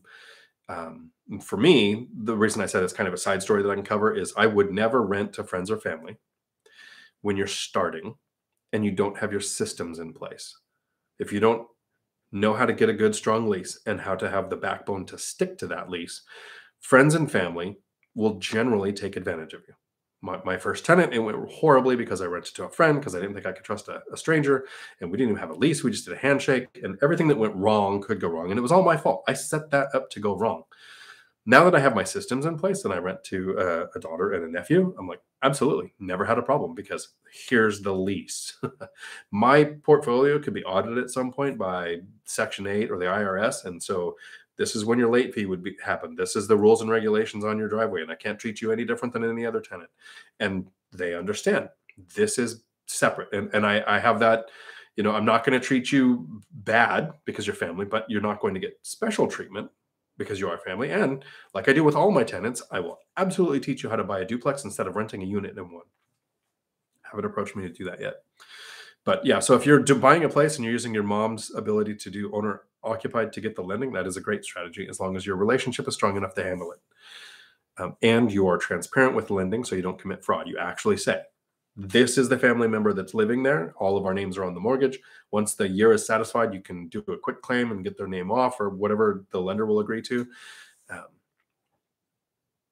yes, but I haven't personally done that strategy yet. Michael Smith, howdy, question.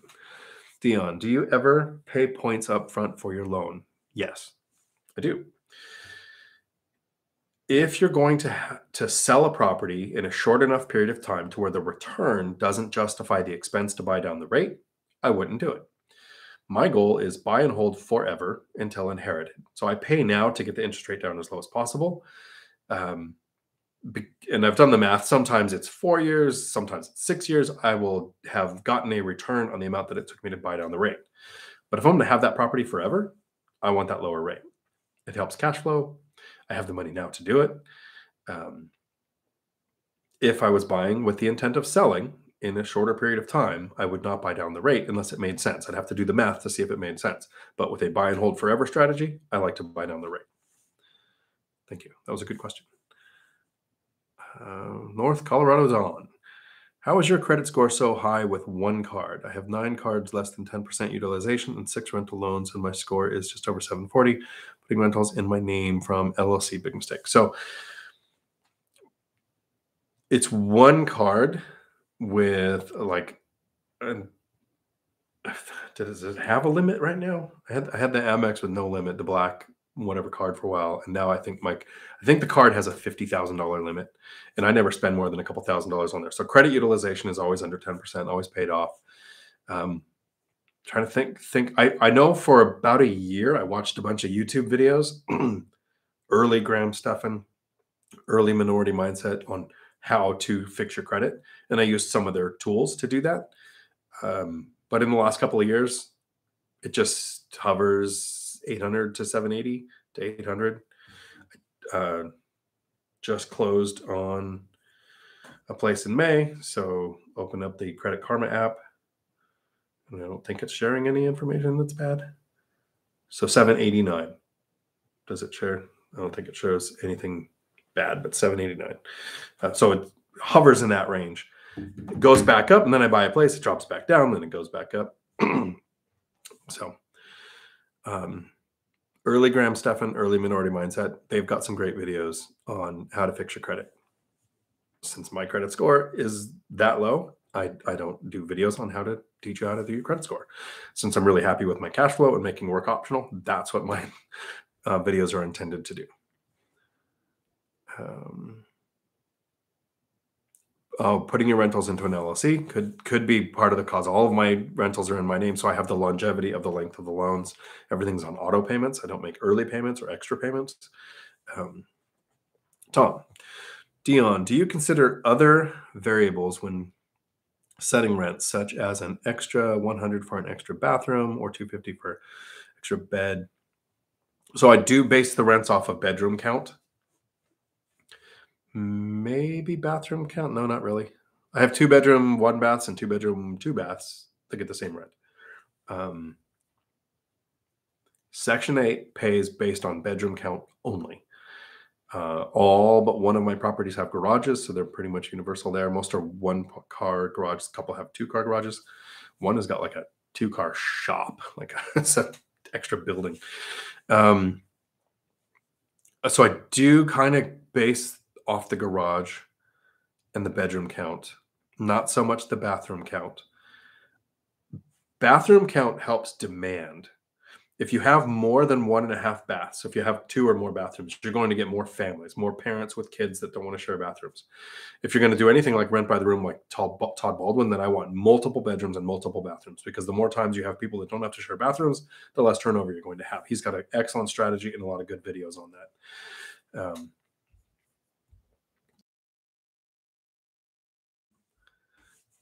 I'm trying to think. I don't have anything else that I u- really use to adjust rents. I did have one tenant ask if I would add a shed. So I spent $3,300 on a shed and we increased the rent by $100. Tenant's request, sign a new lease.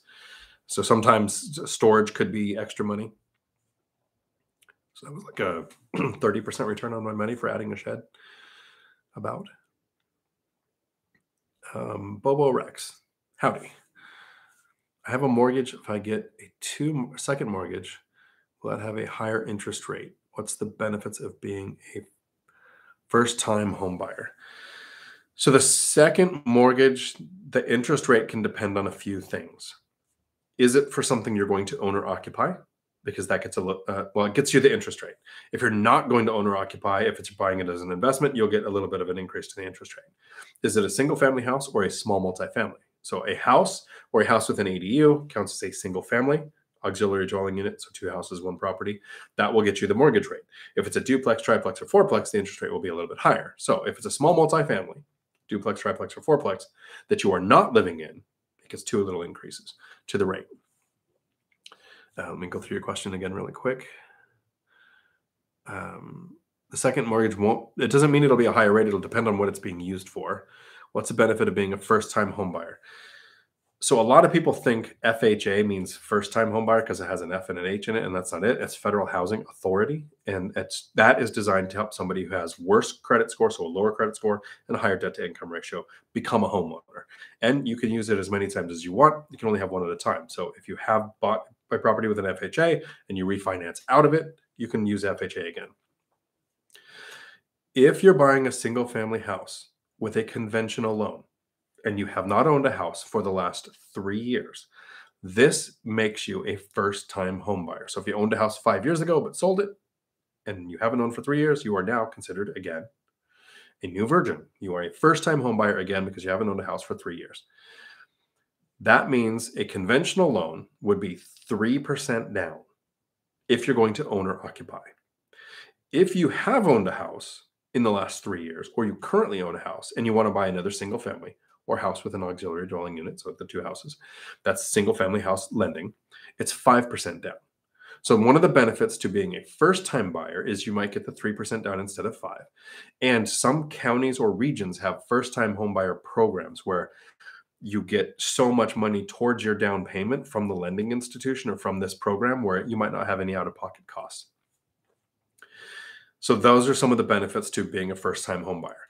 If if you own or occupy, remember you're going to get the interest rate. If you don't live there, it's going to be up a little because it's it's a investment property. So there's a bunch of questions there. So it depends kind of specifically on what your situation is and the type of property you're looking at buying. And so the order of operations to get started in real estate, and I have a couple videos on my channel, the step, the six steps to get started in real estate or before buying a rental property, what do. The first thing is learn how to save. You know, earn as much as you can, spend less than you make to save. Work on your credit score with a target goal of 740 or higher so you can get the best interest rates. Third thing you do, and this is where you're at now, talk to a lender. Find out this is my living situation. This is the type of investing I want to do. What is your best current loan product? And do they have a first time home buyer program? Do they do they even handle that kind of lending? That's where you would start at. All of this happens before you talk to an agent to even set up your auto search to start looking for properties. Carrie, do you have a rental lease template you could send? Maybe. If you're a BiggerPockets Pro member, you have access to the to a lease from an attorney for every state. And I do not have permission to share the leases from BiggerPockets. But I got my lease from the Washington State uh, tenant landlord resource page. It's no longer there. Don't know why they took it down, but a lot of states have a tenant landlord resource page where they list leases. So my lease isn't going to do anybody any good unless they're in Washington. And even in Washington, they're going to want to tailor it to their property. So if you're in another state and I send you a lease from Washington, the rules and regulations might be so different in your state. Your you your municipality might even be so different that my lease can cause you legal problems. So I wouldn't want to share my lease with somebody outside of Washington. Um, so if you're in Washington, my email is in the chat.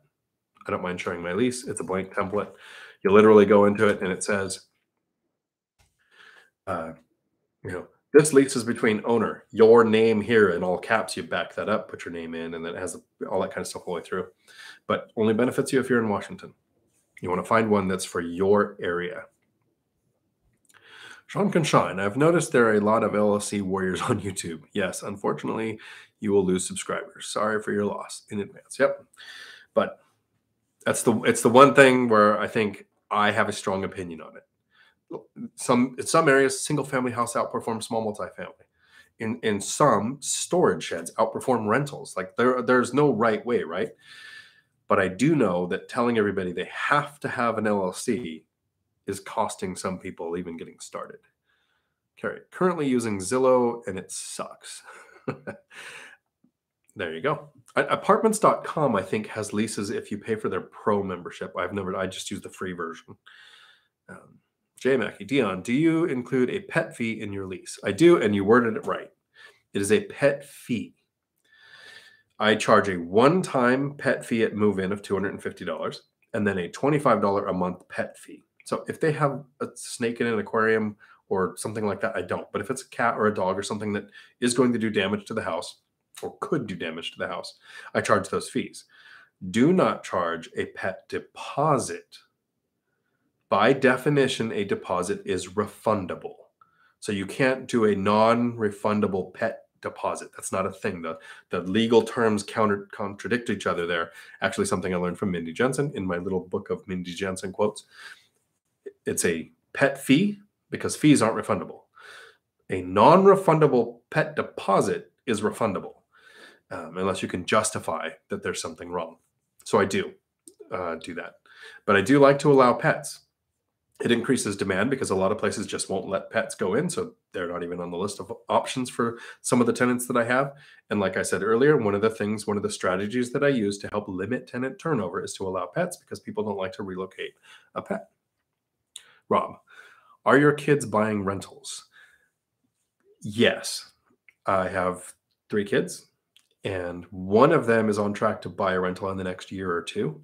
They are they first eliminated student loan debt and all consumer debt. So, and uh, at the same time, while they're saving their down payment for their first duplex.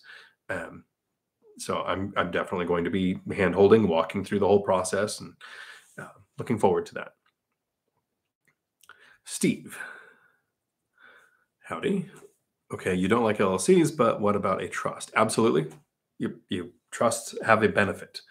Uh, LLCs have a benefit if you have partners or need commercial or hard money. So there are times it makes sense. Totally get it. My nonprofit is in an LLC. My CDL school is in an LLC. My rentals, no.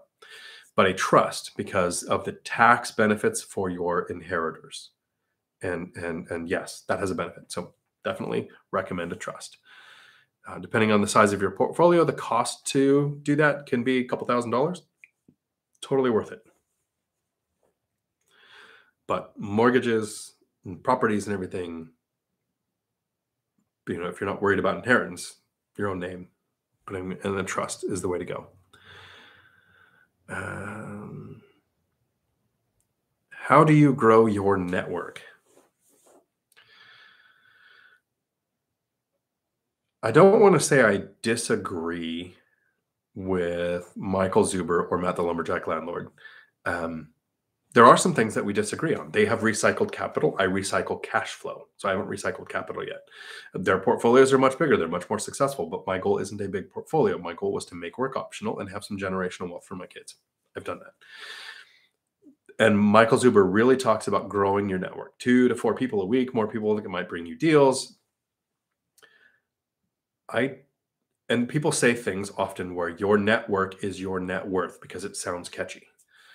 Um, I did this. N- no mentor. Uh, I tripped, fell on my face several times, educated myself on YouTube. Um, I use the lender that has the current best whatever. I use multiple agents for my auto search. I don't have a go to network of that's my agent, that's my lender. Um, I do like to grow my network of finding handyman, local Facebook groups, a local REI meetup, so you can go and get like a face-to-face review from people on what the handyman's job is like or work is like. Um, I use the Thumbtack app to find contractors because I don't do rehabs or, or constantly, you know, doing the BRRRR method. So when I, it's me, I, it's like one time I need a fence worked on and I won't need a fence worked on again for 10 years.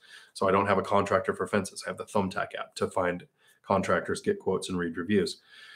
Um, my mental network, I uh, have grown on YouTube by interacting with people like Michael Zuber, Todd Baldwin, Millennial Mike, April Crosley, Lumberjack Landlord, Matt the Lumber, Matt the Mortgage Guy, like like getting to interact with them and make videos and and like it pushes my boundaries. That's something that's good. So if you're going to local REI meetups and you're talking to investors who invest, they might not be your network or who you get deals from, but expanding the way that you interact is really important. It's rule number seven on Michael Zuber's rules of one rental at a time it, it's it's growing your network or some or something like that.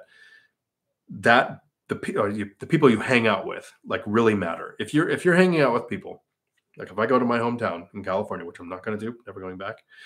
Um, told my mom, "You want me at your funeral? You're going to have to come to Washington and die." Uh, the same people are probably sitting on the tailgate of a pickup on a dirt hill in the middle of nowhere getting drunk every weekend because that's what they do if I if I hung out with people like that, I probably wouldn't be making investment strategy moves and and learning these kind of things. So hanging out with people that are doing what you want to do is very important. So I don't know that it's growing your network as much as as shifting your network.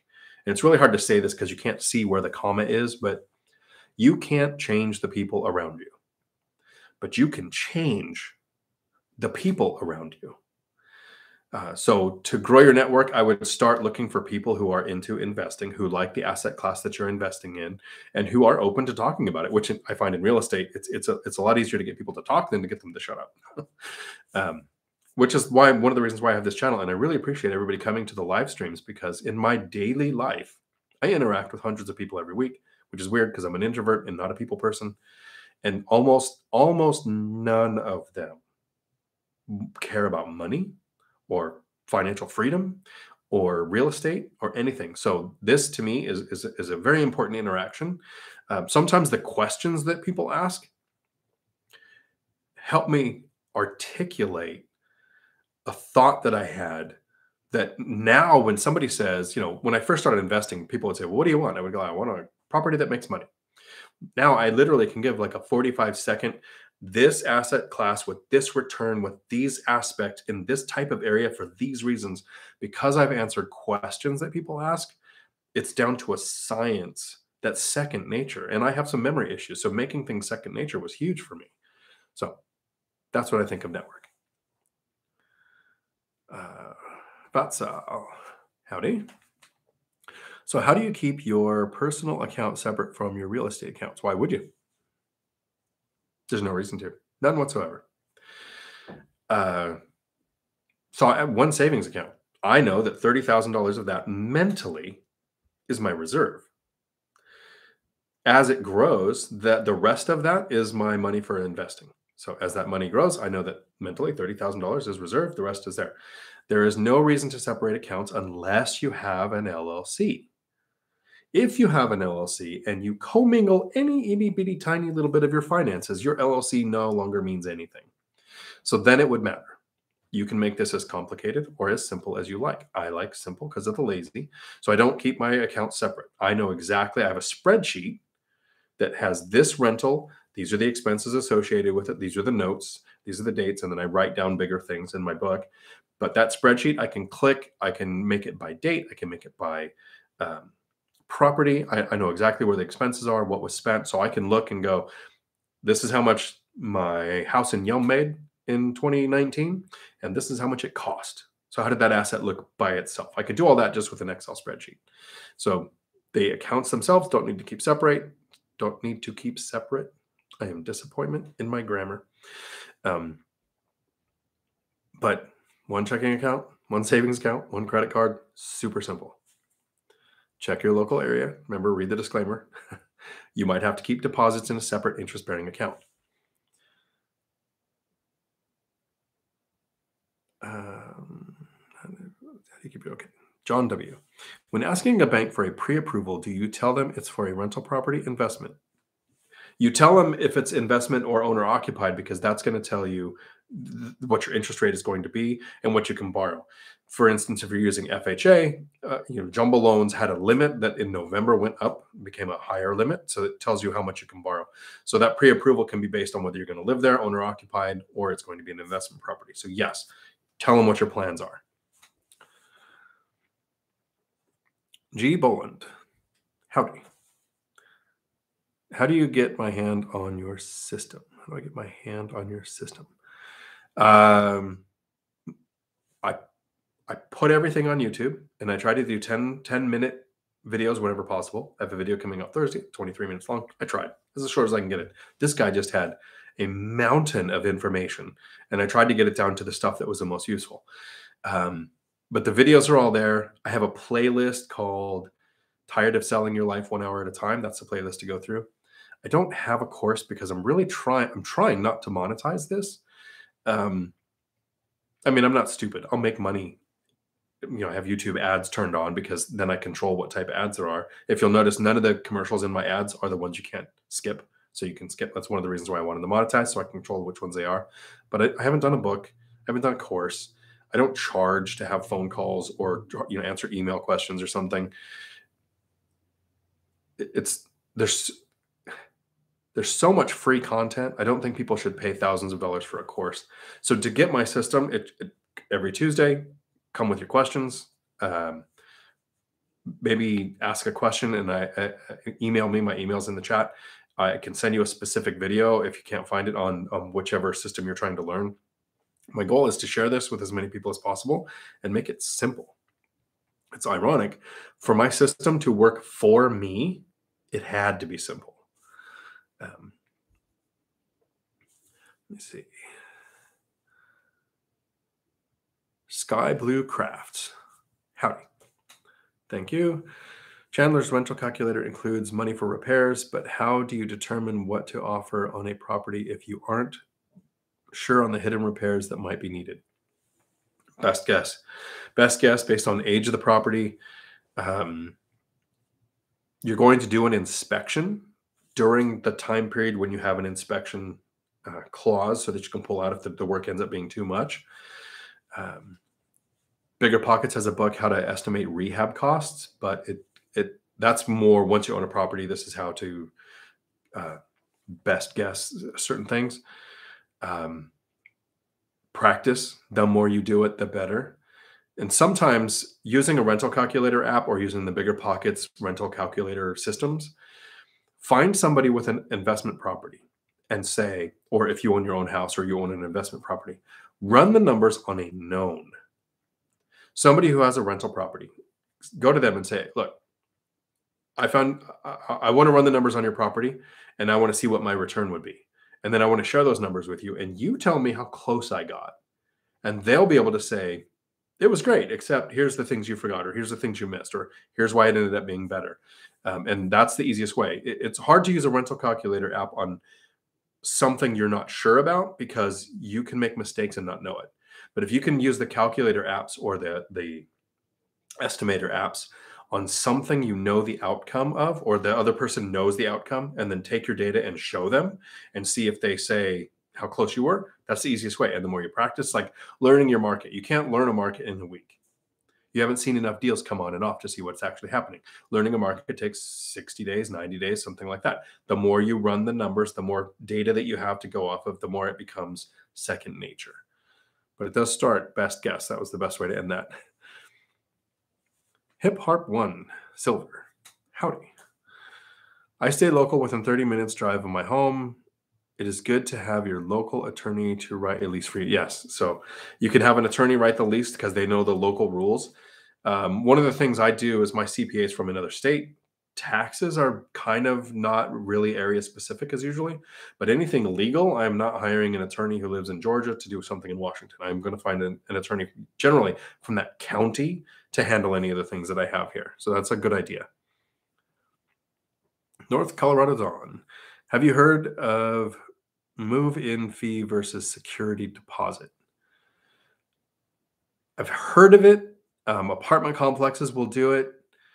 Um, check your local area. Some places don't allow move in fees, they don't allow non refundable deposits, and they don't allow cleaning expenses. Like you can't, in some areas, you can't say there's a $300 cleaning cost and here's your deposit. Um, so know the local areas to know what's allowed. Considering changing over to the move in fee. If it's allowed in your area, it, it, it's good.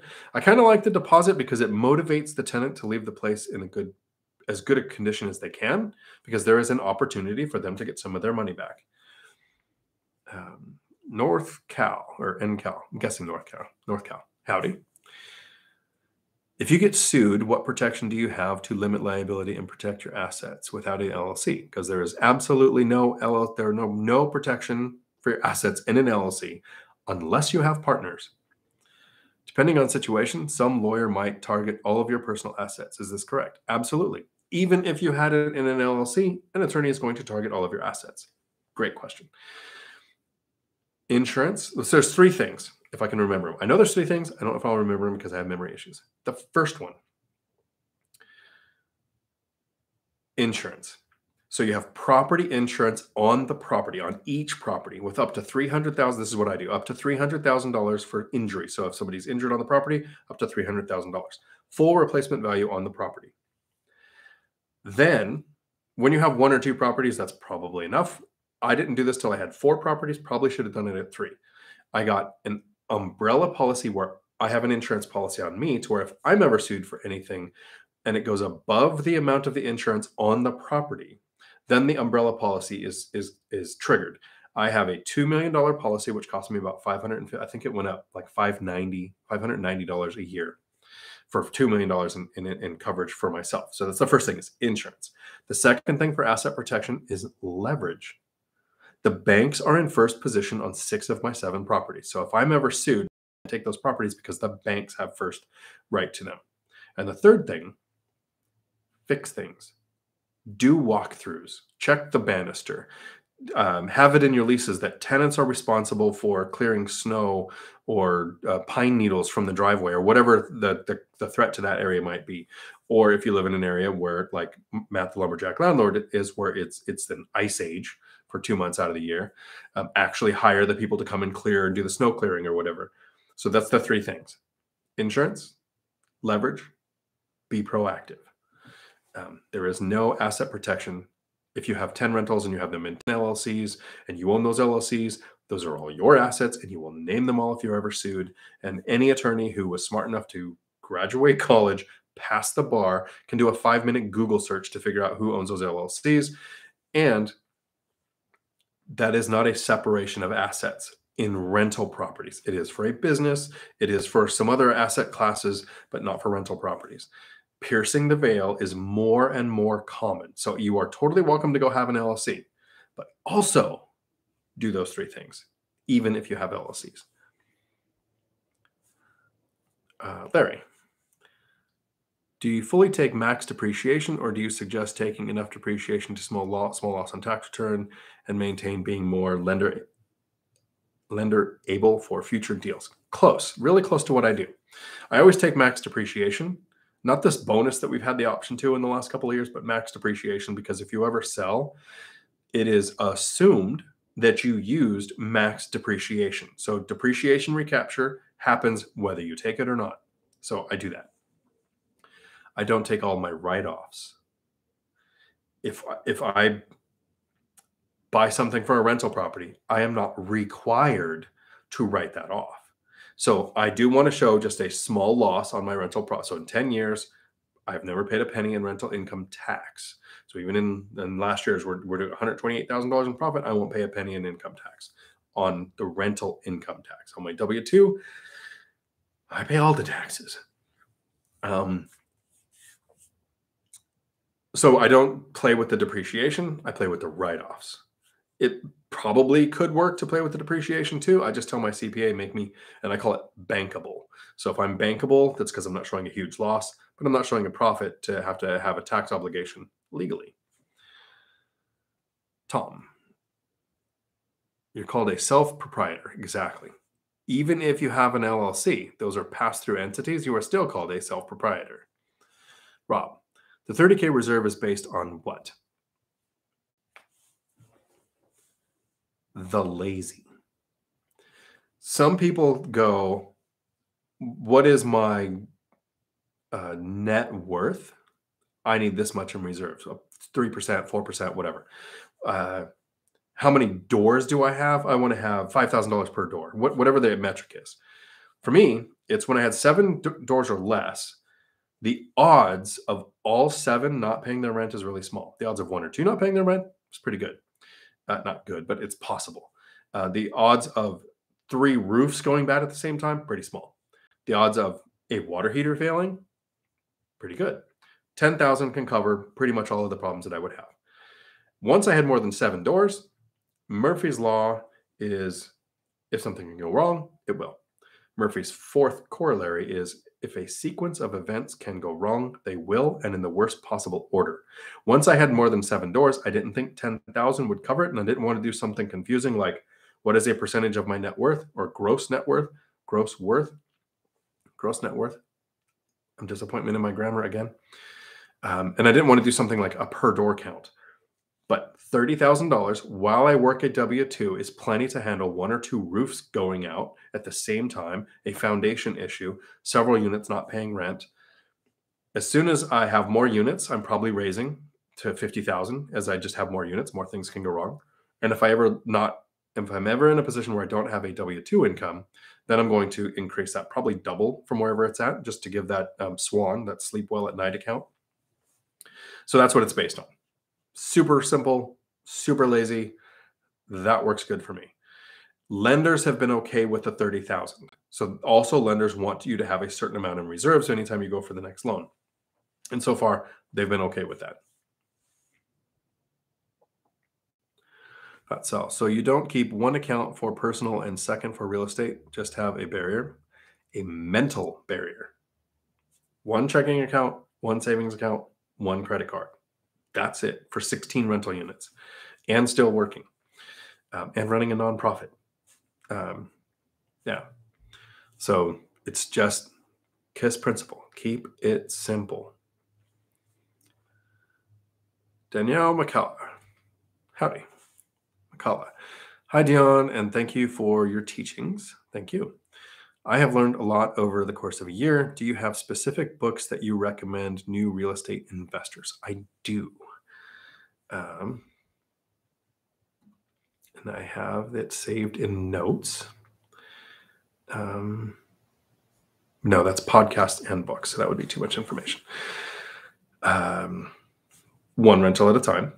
It's easy to duplicate. It's right off the MLS. It's traditional lending. You can then, once you have the basics, make, make it as complex or confusing as you want. Rich Dad Poor Dad and Cash Flow Quadrant. Um, the most of the bigger pockets books i'm pretty good. Mindy jensen and scott trench did one and i'll probably butcher the name but it's something like a first time home buyer something and that book breaks down all kinds of strategies. I've actually given that book away a couple times on my channel. I've given away one rental at a time several times too. Um, trying to think of what other real estate books. Mindset books obviously think and grow rich. Um, was that napoleon hill and then Richest Man in Babylon. Those are mindset books that I would I would recommend going through. Uh, that should be a good start. Rich Dad Poor Dad is good for mindset. Doesn't have an instruction with it at all. It doesn't help you narrow down your asset class. It tells the difference between assets and liabilities and kind of gets your mindset right. Cash flow quadrant is great. As soon as you understand the four quadrants of, of taxes, you realize that Employees are penalized and investors are rewarded. There's a reason why we want to go to the investor quadrant. Um, so that's a really good book to go off of. Um, so that's kind of my short list recommendation. Um, REI stoners. Do you give some sort of credit or gift card to tenants that pay on time and keep the property up? I have not done that. Um, what have I done? I have good communications with them. I, I, I do ask every now and then if there's anything that they would like fixed, so that I can stay on top of small things that they might not think is important enough to to note. But if I have the time, I can send a handyman out there and fix something to make sure they know I want to be proactive. Um, using the binder strategy keeps tenants happy because they actually understand what they would be paying somewhere else and they understand they're getting a good deal. Uh, but I haven't done gift cards or that kind of stuff. Um, I would be hesitant to do it unless you did it to every tenant. And some tenants might not like that because if you did it to some and not others, you set yourself up for discrimination. Um, no, I, th- I think the biggest gift that I give my tenants, I leave them alone. Um, especially if they pay on time and keep the place nice. I don't bother them. Dawn, you're an introvert. Wouldn't have guessed that. I think you could sell a fish a bicycle. Appreciate the enthusiasm in your content. Thank you. I'm absolutely an introvert. If it, it uh, INTJ, so the, of the 16 personalities, um, would definitely sit home and read a book. Preferred to going to a party. And if I go to a party, I would want it to be a function where I'm the speaker because that way I'm facing everybody and there's nobody behind me. Um, yeah. Uh, in the Marine Corps, you have the family of the Marines, right? So you, but everyone else is it's it's it's us and them. That everyone else is a them. In law enforcement, you have a vest and a gun and a badge between you and everybody. Um, as a truck driver, you're literally in the truck, educating yourself with audiobooks and podcasts by myself.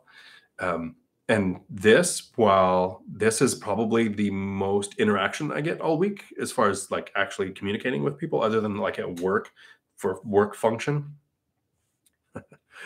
but there's a camera and an internet between all of us. Um, so definitely an introvert. Another reason why real estate works great for me. I, I'm house hacking a unit in my fourplex where I've seen the neighbors probably three times in the whole year of 2021. Uh, very okay with that. Um, that doesn't mean there aren't people I don't like. I'm just I'm just not much of a people person it might be a law enforcement thing. There's there's a metric of in every 100 people there are two sociopaths and one psychopath. So sociopaths will hurt you and know better. The psychopath, the the in a city, there's a lot of 100s. So the more people there are, the more chances of running into the real crazies. Uh, so not a people person. REI trainer, howdy. Hopping on a little late, have you had anyone take you up on an owner financing yet? How many offers have you made with this strategy?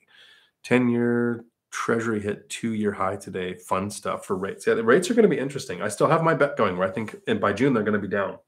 I think they're going to talk high rates. It's going to it's going to increase demand. People are going to think I fear, fear of missing out. I better get in now before rates go up. It's going to increase demand government fears deflation more than inflation. So I think that's going to cause rates to go down. I've only made one owner occupy or one seller financing because I put my buying on hold while my friend was buying a duplex and I walked her through all of that. And then I'm saving up a down payment because I'm putting my money where my mouth is and I want my next property to actually cost have a purchase price of more than a million dollars because the thing I say often is I wish my properties cost more. In my first years of investing, I kept trying to buy the cheap property that I can afford. And Michael Zuber says it all the time you can go broke buying cheap. If the return scales, I want to buy a more expensive property because as the return scales, that means more money. So I've been saving up a down payment and not really making offers. I'm looking for that next fourplex, three bedrooms each unit, a garage for each unit, side by side in Washington. I will be making every offer going forward. I will make an owner uh, owner financed and a traditional lending offer at the same time. I did that once and it was accepted. Uh, and then it fell through. What was it? They, they had they had a mortgage left a little bit more than the down payment that I could afford to do. Because with seller financing, my down payment needs to be the amount the person needs to walk away with, so that whatever mortgage they have is left is gone, and the amount for the agents because the seller, in my opinion, I have better luck doing a seller finance deal if the seller's not writing a check to sell their property. So I want the down payment to be whatever they need to take care of for their lending, get the down payment that they would like to get, cover the agent fees, and then do the rest. So that that one fell through. Um, so I've made one, and it was accepted, and it was like this. I was like twenty thousand off of making it work. Um, so I'll be making those going forward. Uh, Sean can shine. Do you have any videos about the umbrella policy you mentioned, or any videos about getting liability insurance in regards to your property? Thank you for all your questions, for answering all of our questions. Um, thank you for asking the questions. I am making a video in the next couple of weeks about insurance, and I, it's gonna it's gonna irritate. Like so, when I make an, an a uh, a video on things to ask a real estate agent or how to get lending my real estate agent friends call me pissed off, and my lender friends call me pissed off. Um, when I make the insurance one, people who work in the insurance industry are going to call me pissed off or email me because I'm going to oversimplify it. It doesn't need to be complicated. This is what insurance looks like from the perspective of the investor that person working in the industry knows the terminology knows what the rates and how the rates are found and all the all the things that actually matter to them that i don't care about. Do i have the coverage i want? What's the best way to get the best rate for that coverage? That's the video i'm making. So i'm not going to use the right technical terminology and i'm not going to use i'm not going to promote the insurance packages that the brokers want to sell. I'm going to promote the one that worked for me. I am making that video soon, but not today. Um, REI trainer pulled a message back and it's going to make me wonder all night. long. Raj M. Howdy. In a single family home, a good uh, is a single family home a good place to start for first time buyer investor? Market dependent. I wanted to start with single family houses, but in my market, they don't cash flow. It's been 10 years now. I've still never seen one that would cash flow. So I went to small multifamily. I have a friend who lives here in Washington. She invests in Ohio and she buys single family that cash flows and gets the return she's looking for at a distance with a property manager. So depending on your market, single family or small multifamily or whatever makes the most sense to you. My suggestion, because it's always my go to, is going to be to house hack lower down payment, better interest rate, all the benefits that come with lowering or reduce, uh, reducing or eliminating your housing expenses to be able to save more to invest sooner. It's not required. It's just my go-to. This is what worked for me. This is what works for most of the people that I know. But if you have a good income, good debt to income ratio, have the ability to save a down payment, makes just as much sense. Makes just as much sense to buy an investment property first. Um, so, what works in your market? What would have the best yield? Michael Zuber says it great, so I'm gonna make sure he gets credit. He would buy a single family house, a small multifamily house, or an apartment complex based on which one had the best yield. Yield is, um, see if I can do this in less than 30 seconds. Annual profit divided by cost to acquire. Cost to acquire is down payment, closing costs, and immediate repairs. Annual profit is the money left after all expenses and setting aside for vacancy repairs and maintenance in a year. Yield. Which one has the best yield?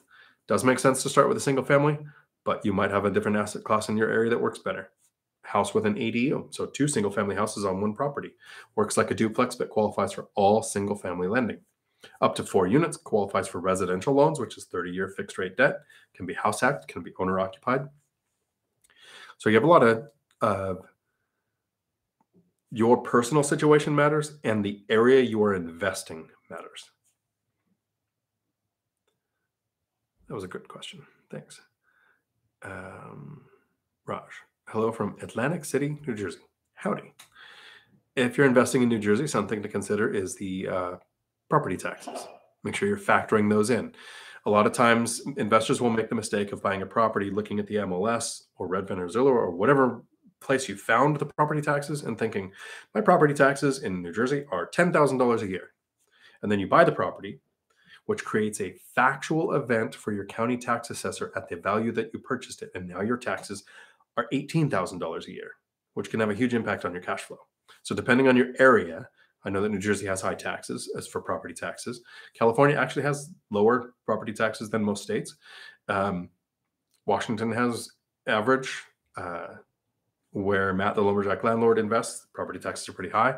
But remember, when you purchase a property, it creates a factual event that can reset the property taxes to a new value.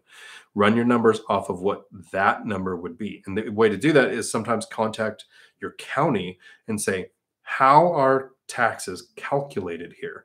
And if it goes off of current value, 1%, 3%, whatever their percentage is, you can actually run the math at this purchase price. This would be my taxes. Robo Rex. Dion, I have a credit score of 750 and savings of 20,000, including the emergency funds here. I am looking for investing in single family homes since multifamily are too expensive in my area. I am currently analyzing homes. Cool. If you were to house hack a small multifamily where you did an owner occupied loan, you can do FHA and do 3.5% down on all the way up to a four unit. So if they're more expensive, remember, more expensive doesn't mean worse deal. I'm looking, I'm specifically looking to buy a more expensive small multifamily because the yield scales, which means more money. Um, and I just did a video recently where I purchased a property in 2018 for $298,000. A friend just closed on a duplex in November, uh, six houses away for $555,000. And I prove in that video that her deal for this almost the same duplex at twice the price was a better purchase than mine. Mine's a better purchase now with three years, four years of history and rent increases and refinancing and all that kind of stuff. But first year to first year without, you know, we don't have the crystal ball. Not all of us has the crystal ball to know what's going to happen with interest rates and rents. But that first year to first year, hers is a better deal, even though it costs twice as much as mine, almost. Um, yeah, but sounds like you're in a good position. So um, RoboRex. You mentioned I should be talking to lenders. Besides that, what else do you recommend I should be doing to get my first investment property? So, um, the video on my channel is called Before Buying a Rental, What Do? Grammar that I borrowed from my daughters.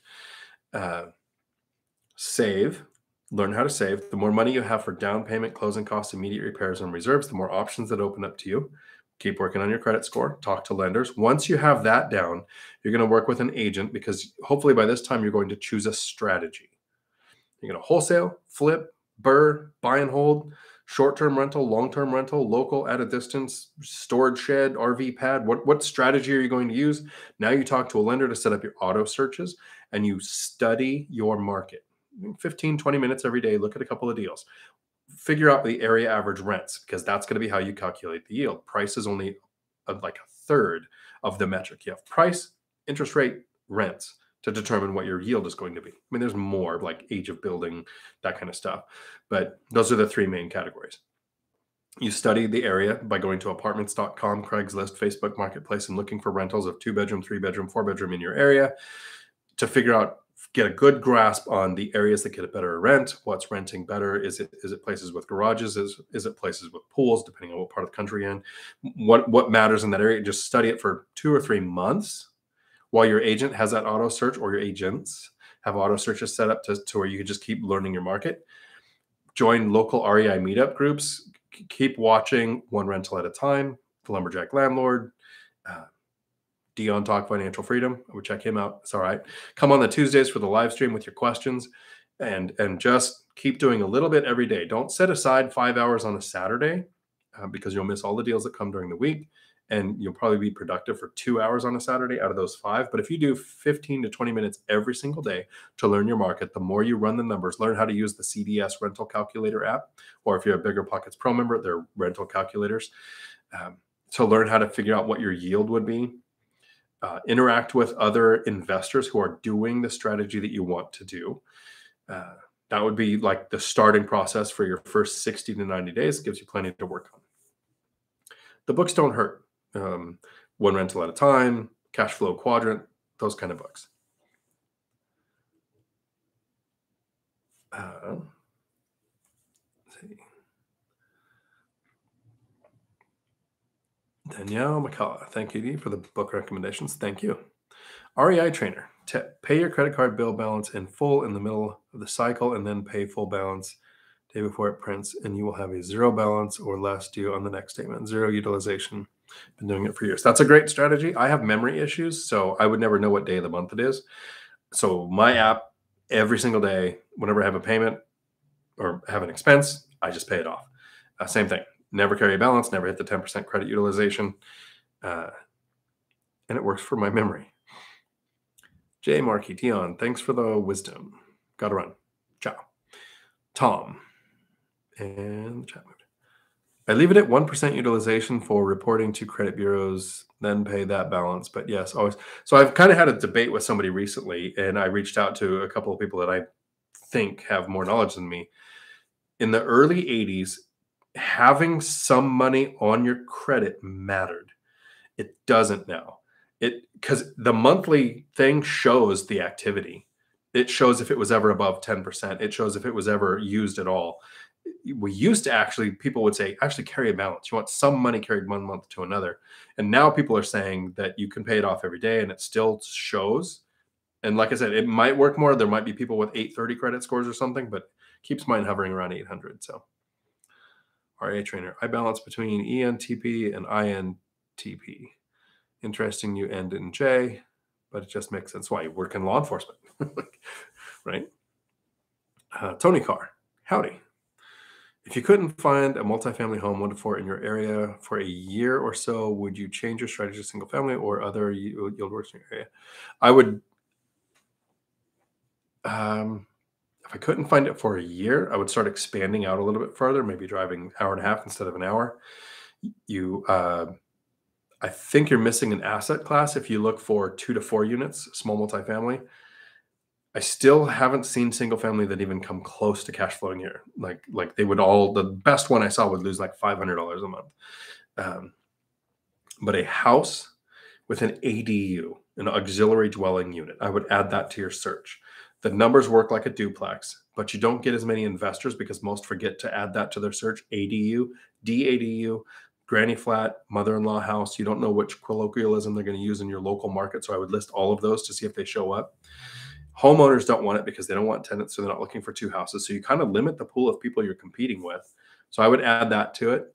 And then concentric circles just keep looking out further and further until you find the market that works. Michael Zuber, it, it's it's two and a half hours away because he's in Sacramento and he invests uh, two and a half hours away. So he just kept going out until he found the market that made sense. Yep. Cool. Uh, REI trainer Dion, you always give great perspectives. Thank you for your time. As always, good luck on the seller financing. I'm also implementing that strategy. Let's do it. Awesome. Yes. Hopefully, you've gotten my seller financing letter with the stuff that I I put in there. Matt, the lumberjack landlord. Of course, he takes back comments. So now I have to wonder what that was. Come on, contact. Only 67 likes, people. Nice. Are there really 67 likes? Holy crap. Thank you, everybody. That is amazing. Appreciate it. Thank you, Matt, and welcome to the chat. Jones O. I do not want to do a CDL school all that money because I don't have it. If I find a trucker with a golden heart for the seventh, I should be good to go learn but there are some states where training is not required. So you don't want to come to washington like somebody said earlier in washington it, school is a requirement 160 hour course certified by the state.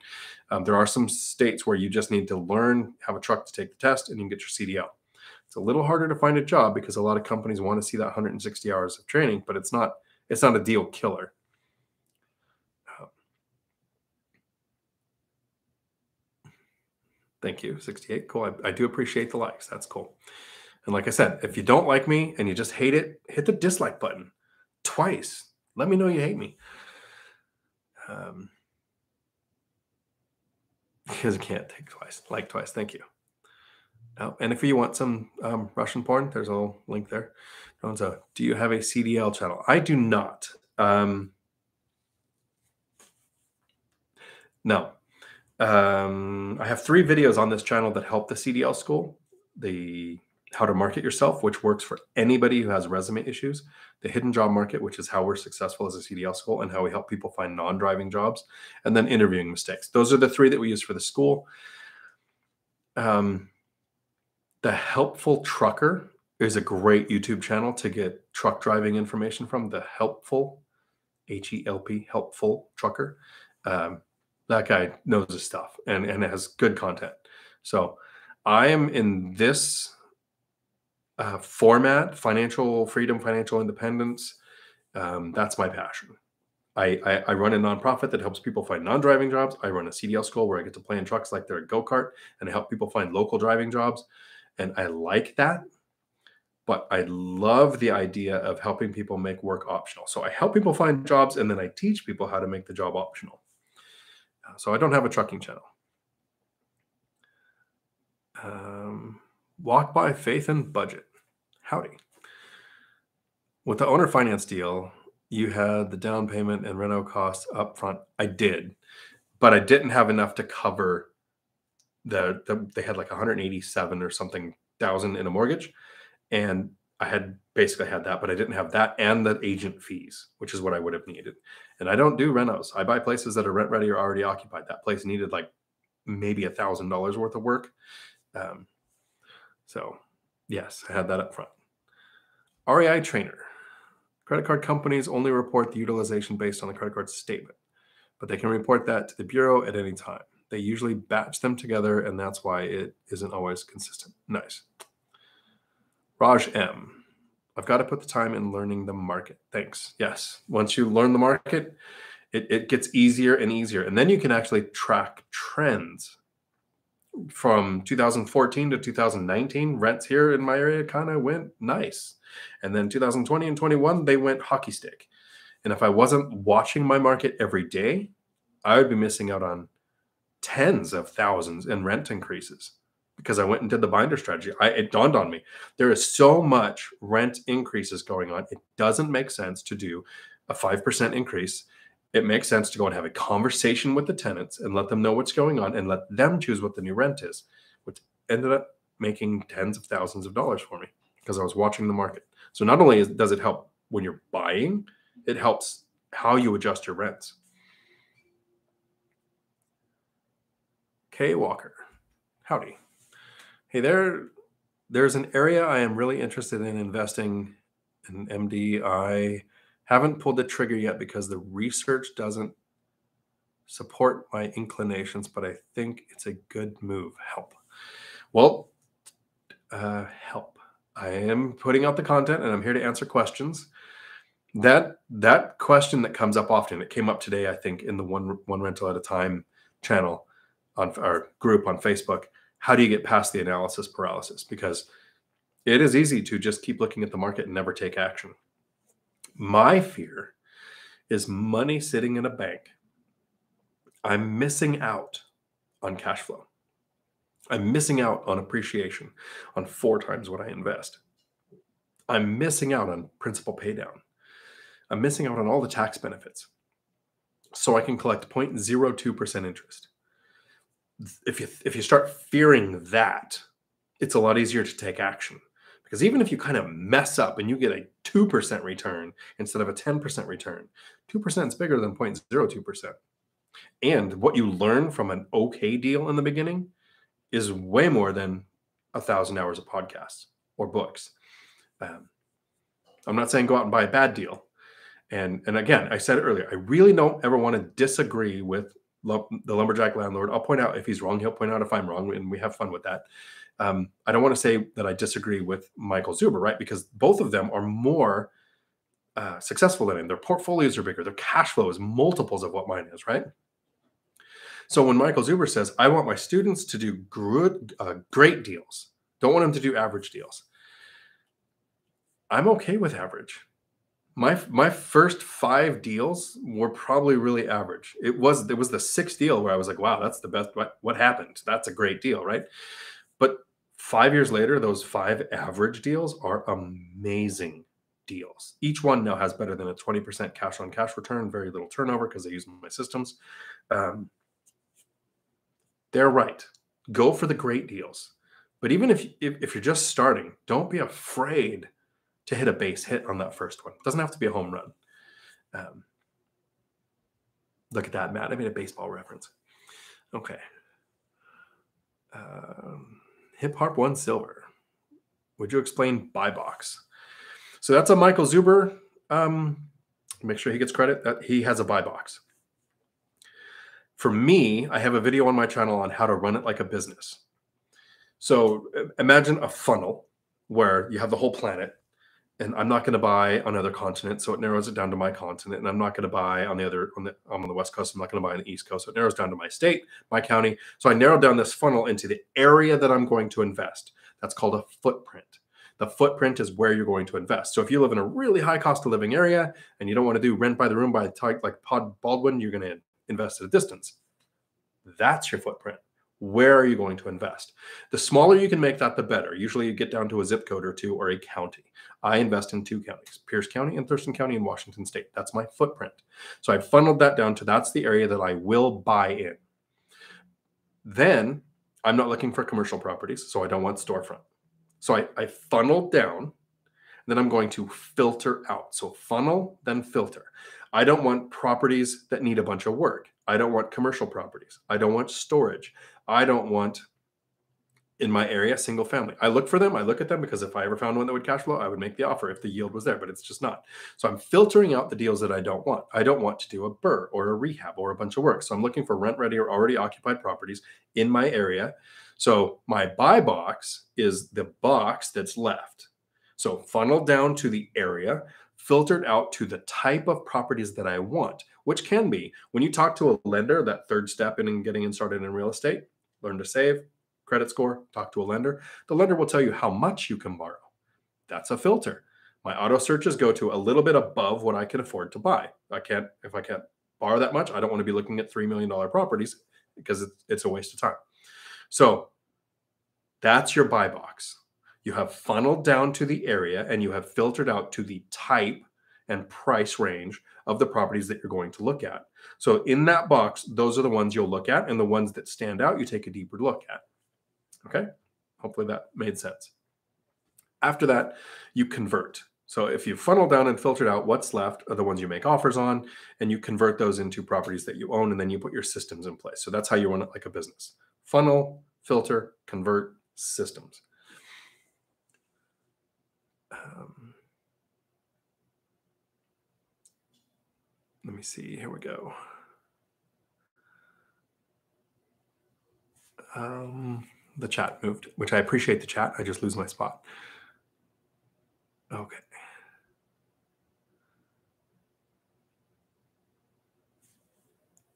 Just uh totally lost my okay, buy box. Thank you. Carrie, how many investment properties do you have now? Have you considered anything out of state? I currently own, so here's a breakdown of the portfolio 16 rental units, seven properties, one of them's paid off, six have mortgages. They're all in Washington State.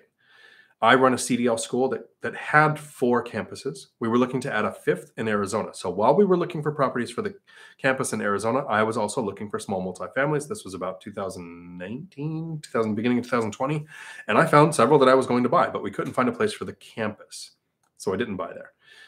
Now we have put a campus in Twin Falls, Idaho. So I am looking in Washington for my next property and Twin Falls, Idaho because I'm going to house hack both states. So this will be my first time getting out of state. It's not truly investing at a distance because I'm going to be in both locations. Um, so that's the breakdown of what my portfolio looks like now. Uh, Rankin Projects. Howdy. Just checking in to say hello. Hello.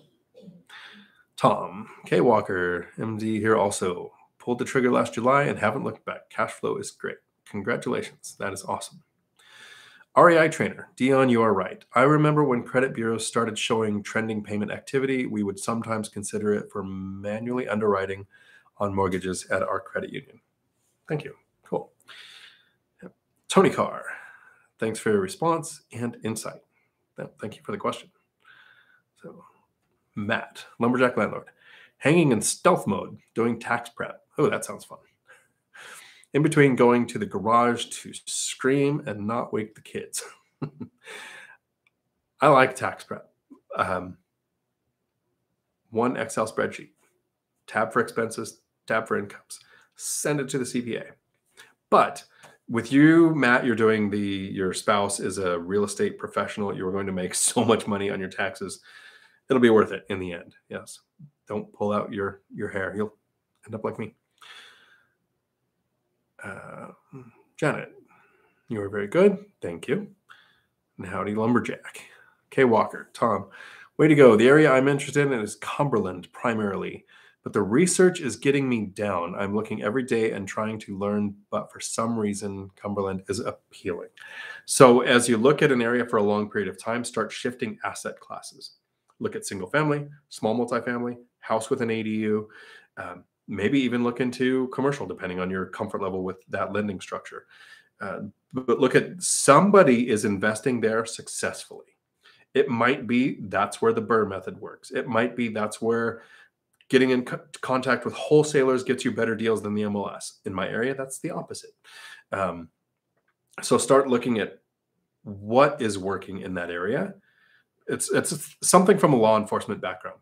You don't look at a crime scene make a decision you know think I, I, think this is what happened and then look for evidence to back it up. That's what a lot of new investors do. They pick a strategy. I want to buy a multifamily uh, duplex or triplex because that's what dion did and i'm going to do it in this market. And they look at that market and they spend months and months and months not realizing that single family perform better there.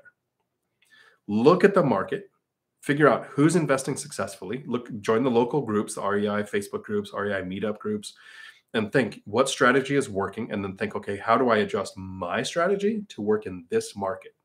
Just like a cop looks at a crime scene looks at all of the evidence and lets the evidence tell them what happened. And then we find more evidence their opinion can shift. Um,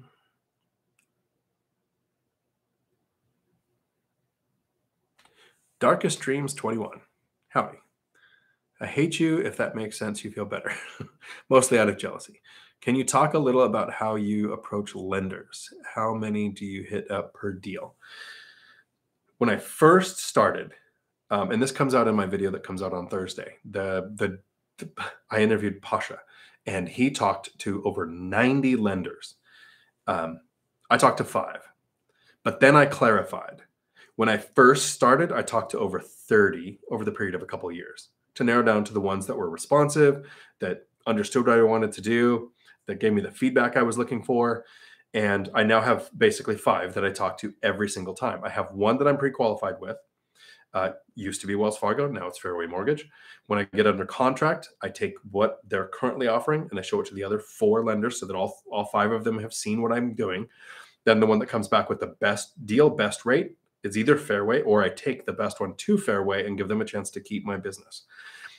I am an investor and I am transparent. We only have one reputation. So I never hide anything and I never say something that's not true to a lender. I say, I'm going to take what you're offering. I'm going to show it to other lenders. I'm going to take what they offer in response and let you see it and give you a chance to keep my business. If you're okay with that, we're going to work together. If you don't like that, you won't be one of my five and no no harm no foul. So that's how my lending works. Hope that helps. Um, dark streams. Also, do lenders have to be local to the property? No.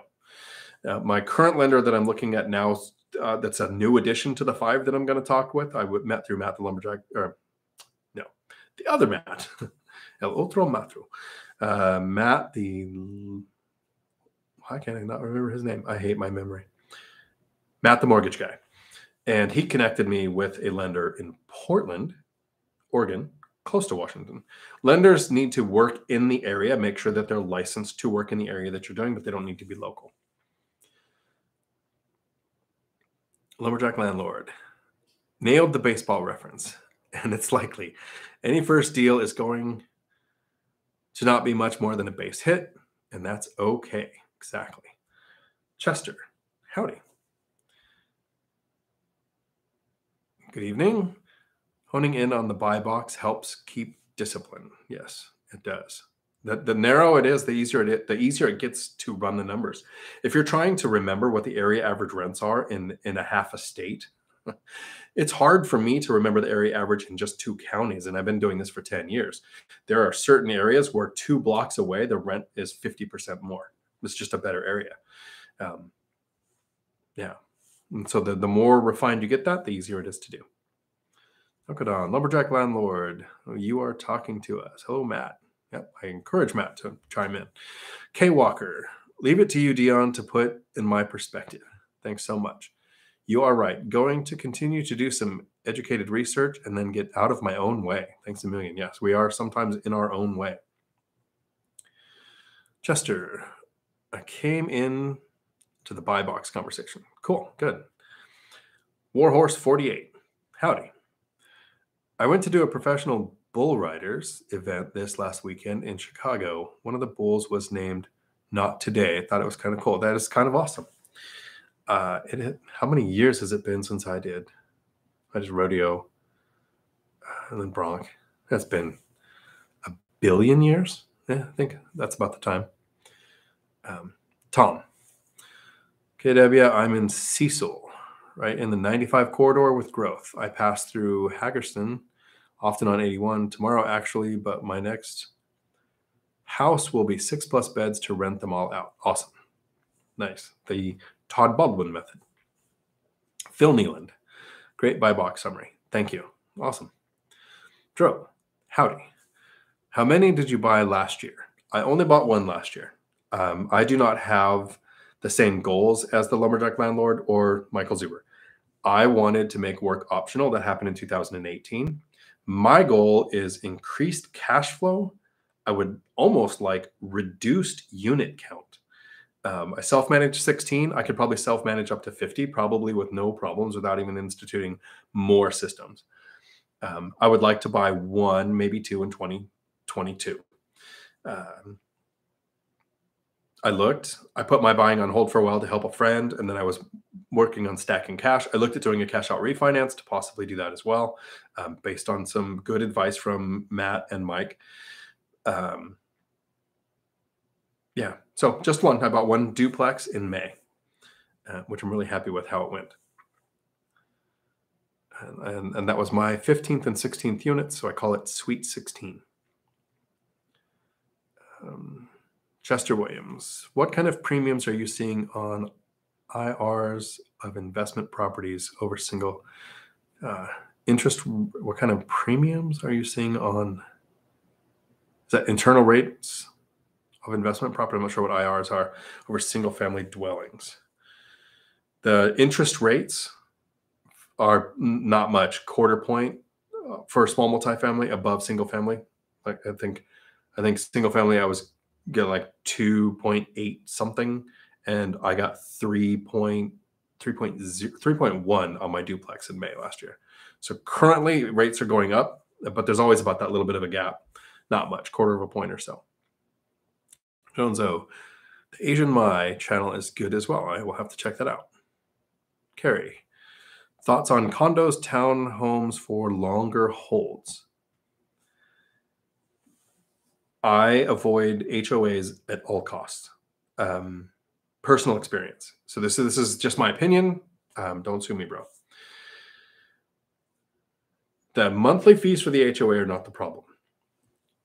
I like properties that appreciate and and small multifamily in HOAs don't appreciate very well because investors don't want HOAs.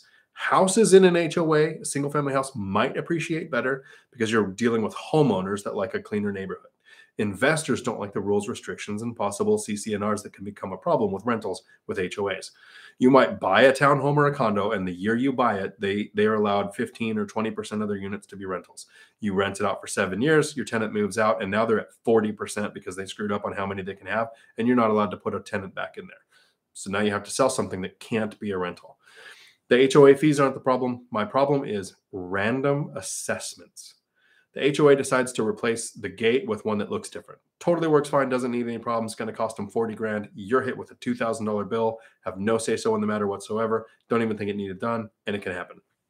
So, random assessments to me are, are a danger. And then this is based on my personal experience. So, if you're in an HOA, I'm not talking to you. HOAs that I've personally dealt with are full of people who have nothing but time to mess with their neighbors. The boards are made up of good old people clubs where I get written up and fined if I put a dumpster out there to do a project. But two houses down, the person who used to be on the board has a dumpster all year long and doesn't get to have a problem. So the HOAs cause more problems than they're worth. So I would not buy in a condo or a townhome if it was in an HOA. Uh, personal experience. So that's my opinion on that. That doesn't mean it doesn't work. There are people who are successful about that. There was somebody that I heard recently who she joins the boards of the HOAs to have control over the HOA on where her rentals are. And that's something that works for her, not something that works for a lazy investor.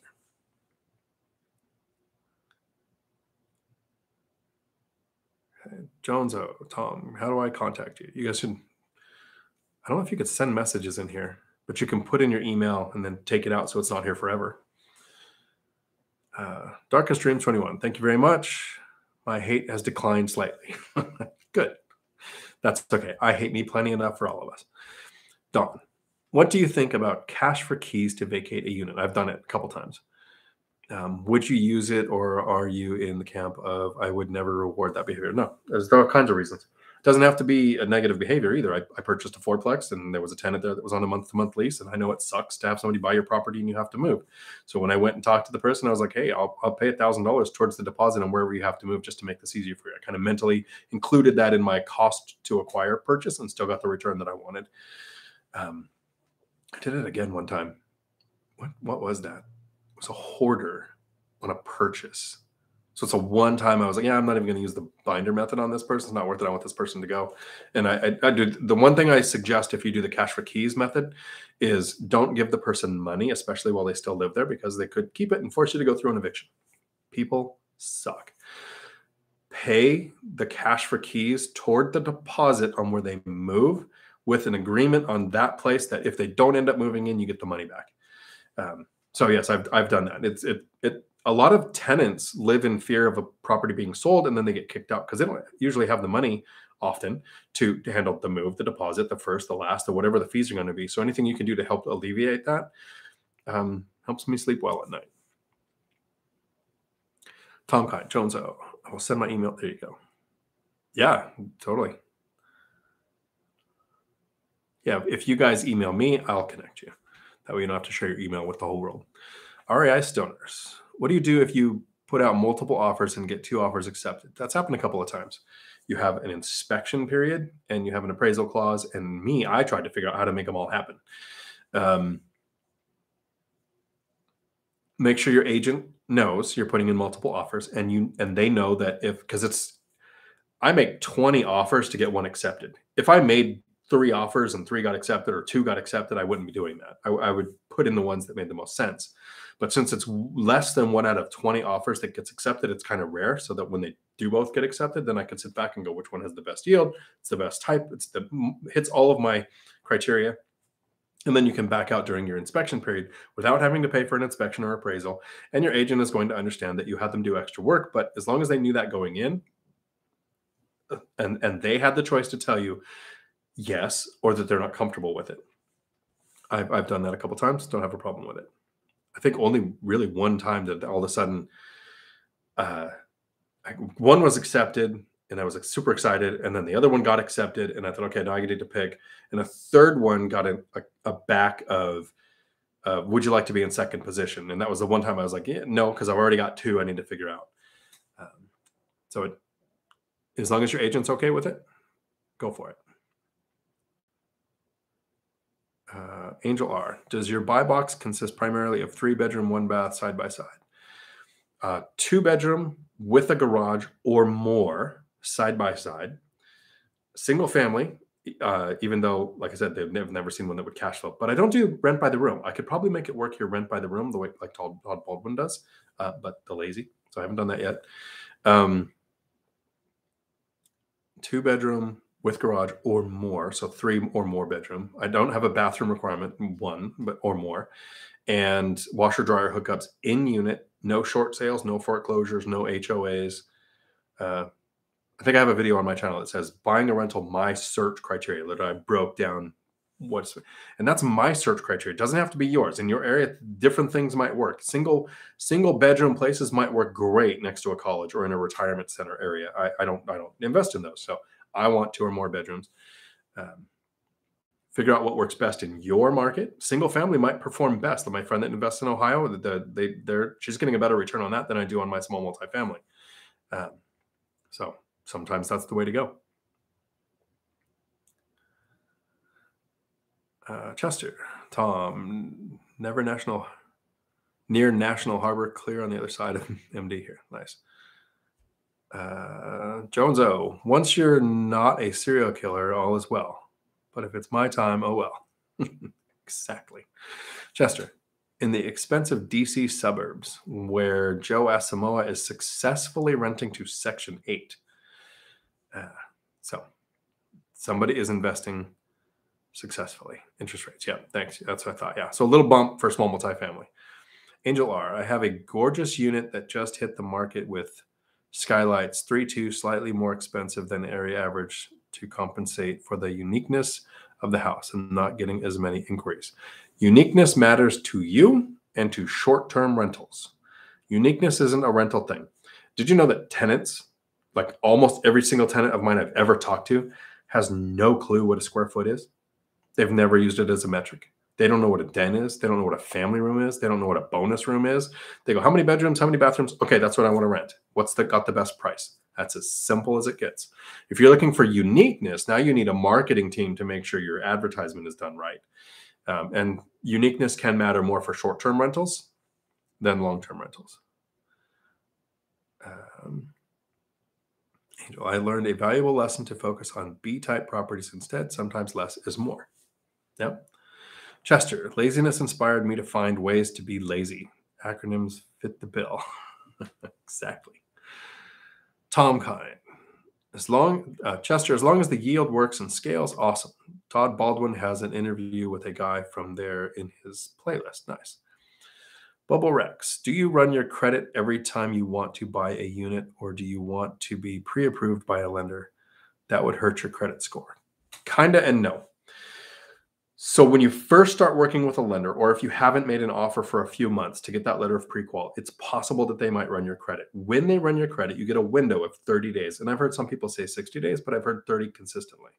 Where in those 30 days, your credit can be run as many times as you want by the same type of lender, and you only get one negative impact to your credit score. So, and once they run it, I've I've had for six months that lender give them letters of pre-qualification again and then not run the credit until we go under contract. Once we're under contract, I don't care if they run the credit because that's the lender running the credit at that point. And then again, 30 day window for all of the other lenders to run the credit if they need to.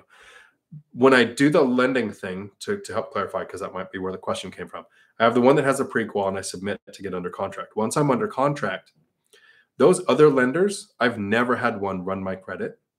They take the first letter from the lender and they tell me what they would do. This is what our rate would be. This is what our fees would be. And then I go back and I give that first lender a chance to keep it.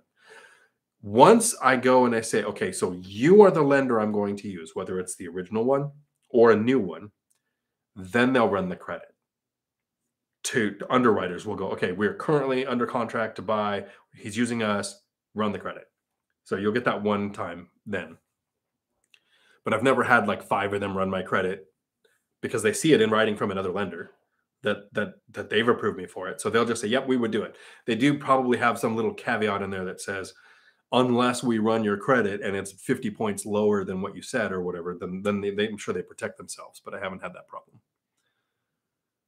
Um, REI Stoners off to check out the Tacoma nightlife. Have a good night, Dion. Great to meet you. Ciao. Check out Dorky's. Dorky's in Tacoma is fun. It is a uh, stoner friendly because you're REI stoners. Um, arcade bar. So there you go. Bubble Rex, can you mention your top five lenders? Everybody hates them. Wells Fargo. No good luck with uh, Bank of America. Uh, so just to be super petty, I keep my money in Bank of America, but all my loans through other lenders.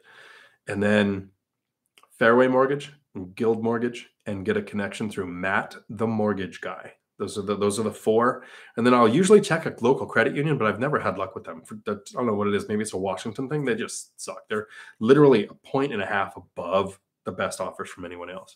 So, also the problem might be I don't have a relationship with the local credit union. So that you know, to be fair, to be fair, um, Castania, when you buy properties, do you buy under your name or an LLC? I specifically buy the properties in my own name. There are times it makes sense to have an LLC. Um, if you have partners, an LLC will protect you from someone else's mistakes. If you want to use commercial lending or hard money, an LLC might be required by the lenders. Once you have 10 mortgages in your own name, you're probably going to have to go with commercial lending, and that might require an LLC.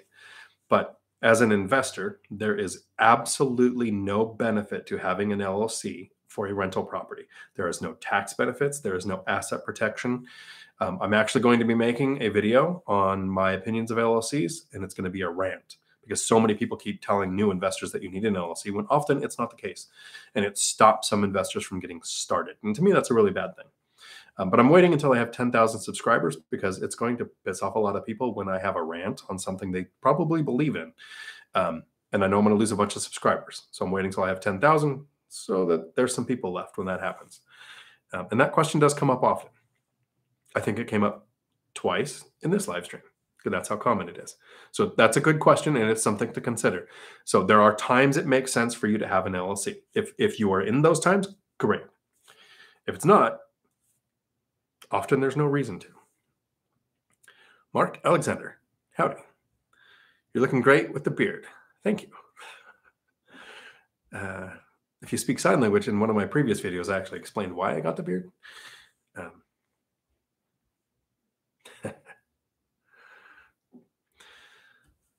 Taylor Vitale, howdy.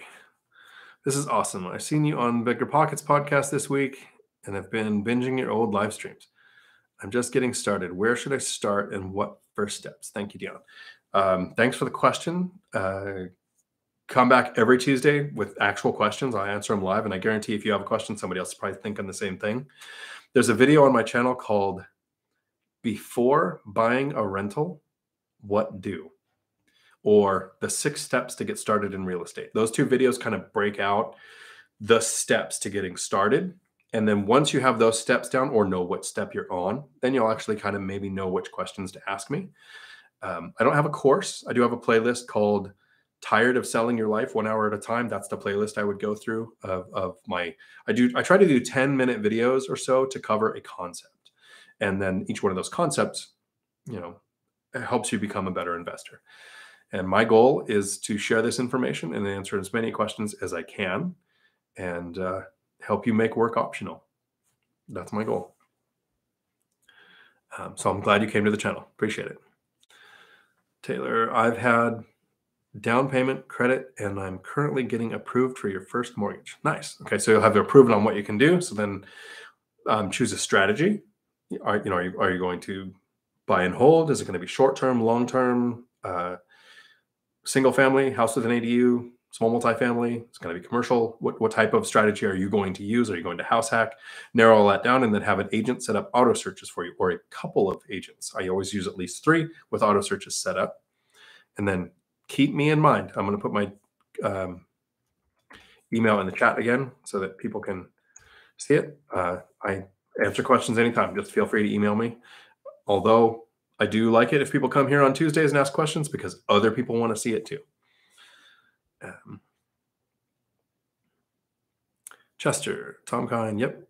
Joe Asamoah does really well in DC proper. Yep. To Dion's point, I wish I had more debt to buy in the city proper, especially in the up and coming neighborhoods. Yep. I, it confuses people when I say that, but that's another video that's on my channel that I like. I wish I had more debt, which is why this video, when I started this, the first 10 to 20 minutes or so, I didn't really pay attention, is on how debt can make work optional the different types of debt and when to pay debt off and when to create more good debt versus bad debt.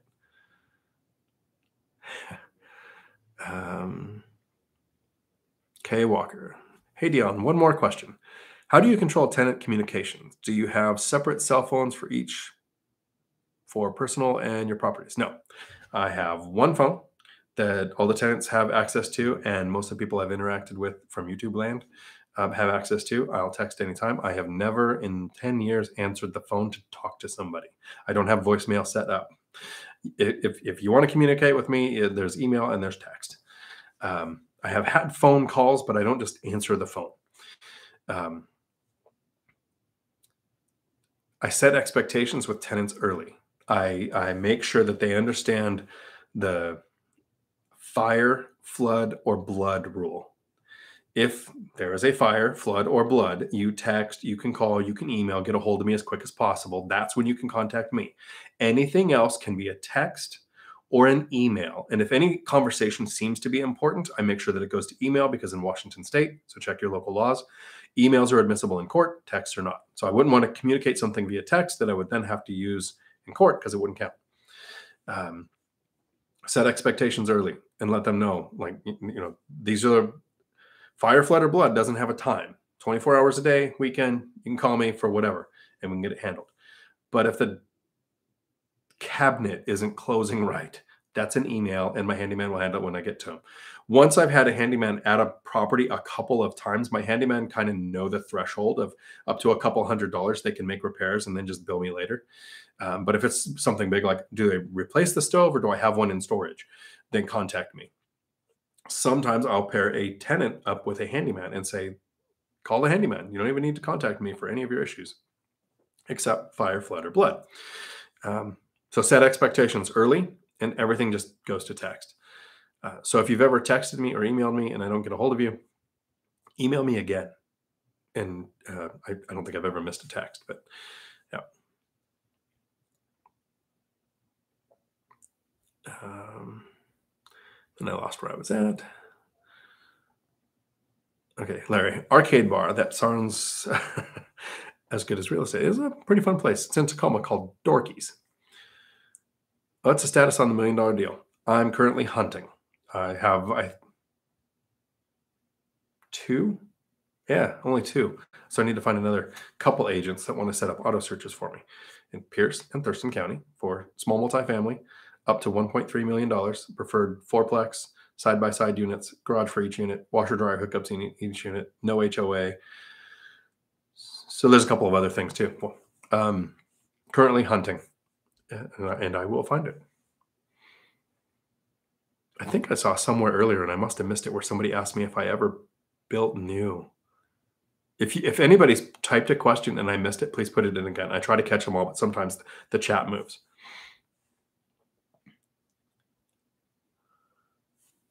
Um, okay.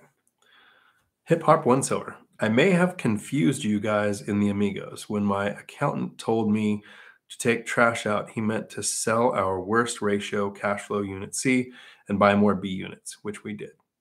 If it made sense to your portfolio, would you, and the cash flow might have been lower. Was the turnover low higher? Uh, was the yield higher or lower? Um, so, what makes most sense to you? Do it as long as it's not stopping you in your tracks. That's when, uh, that's when I would have a problem. Jimena, hola, cómo está, mija? Do you have a personal emergency fund? If so, how many months in expenses? Um, that is too much thinking. So, uh, to diga la verdad, um, simple. Keep it simple. It has to be like kindergarten simple for me. My personal emergency fund is the same as my rental emergency fund. When I had seven units or less, I kept $10,000 there. As my units got bigger and more things could go wrong and like it can you know consecutively go wrong i've raised it to 30000 so there's $30000 in the account that i consider as an emergency fund. Personal business don't know how many months that would be. Uh, too much thinking. Gotta keep it simple. I have a w2 job where i'm still making decent money. If i ever stop working i'm going to probably double that reserve as my portfolio grows, when I add my next property, the next fourplex that I'm hoping is at least a million dollars, I'm probably going to raise it to 50,000 or maybe 60. I might double it. Um, so that's how I handle my reserves. Thank you. That was a good question. I actually think that's the first question you've asked. David, howdy. Dion, I appreciate your time and content. Currently purchasing a house in Vegas, hoping to close early next month. Awesome. Congratulations. That is still a hot market. Um, yeah. Um, do you wait for oh, so Christine, Christina, uh, do you wait for your property to have specific amount of equity first before purchasing the next one? I probably would if my equity was ever above uh, 30%. So if I had 70 more than 70% leveraged, I would probably wait until I built up equity. Or I would put a bigger down payment on the next property to make sure that the equity stayed at least 30%. Um, yes. So I want to maintain always 30% or more equity. Um, so as as it, but I look at the whole portfolio. So right now I'm I'm below 60% leverage, which means my next purchase, if I if I if uh, after the fourplex, I buy another one and I use my VA loan and I do a zero percent down loan and it's hundred percent financed. I think overall I would still be able to maintain 70% or less leveraged because I look at the whole picture to make that decision. David L. I'm a Class B driver in Tacoma and thinking about getting my Class A. Will I need to take all tests all over again in order for me to do Class A? Yes. And in 2019 or 2020, so it's been over a year, they changed the regulations to upgrade from a B to an A. You used to be able to just pass the tests. Since that change, you have to actually do the recorded 50 hours behind the wheel, just like you've never had a license. So uh, my email's in the chat. If you want to reach out directly, I can walk you through what those requirements are when they changed, how, how you get it taken care of. Um, yeah. And then if you get the A, help you find a job.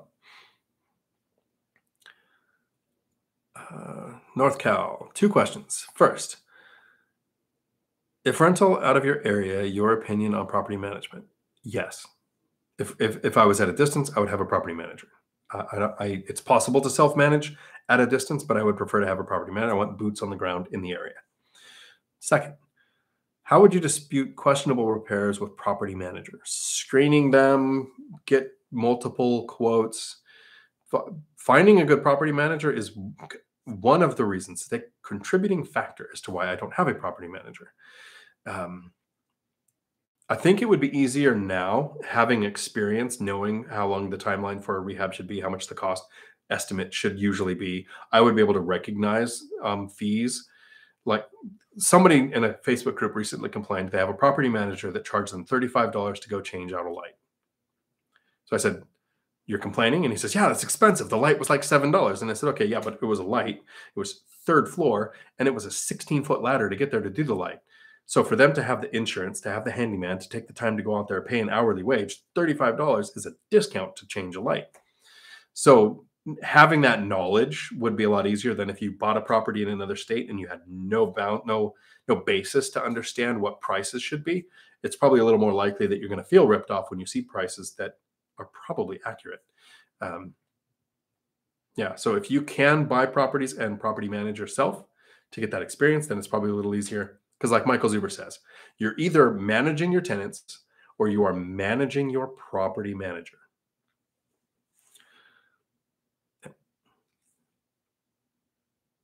Taylor. Thank you for answering my questions. I will do both. Good. Email you and ask questions here. I plan on on a small multi and house hack FHA for your loans too. That is your ideal scenario. It's great. And so that the, F, the great thing with FHA, so I did a five percent down conventional on a duplex back in the dinosaur days. Like uh, you know, you were you could do that. Most lenders recently have wanted 15 or 20 percent down for a small multifamily, even if it's house hacked. That's a lot of money.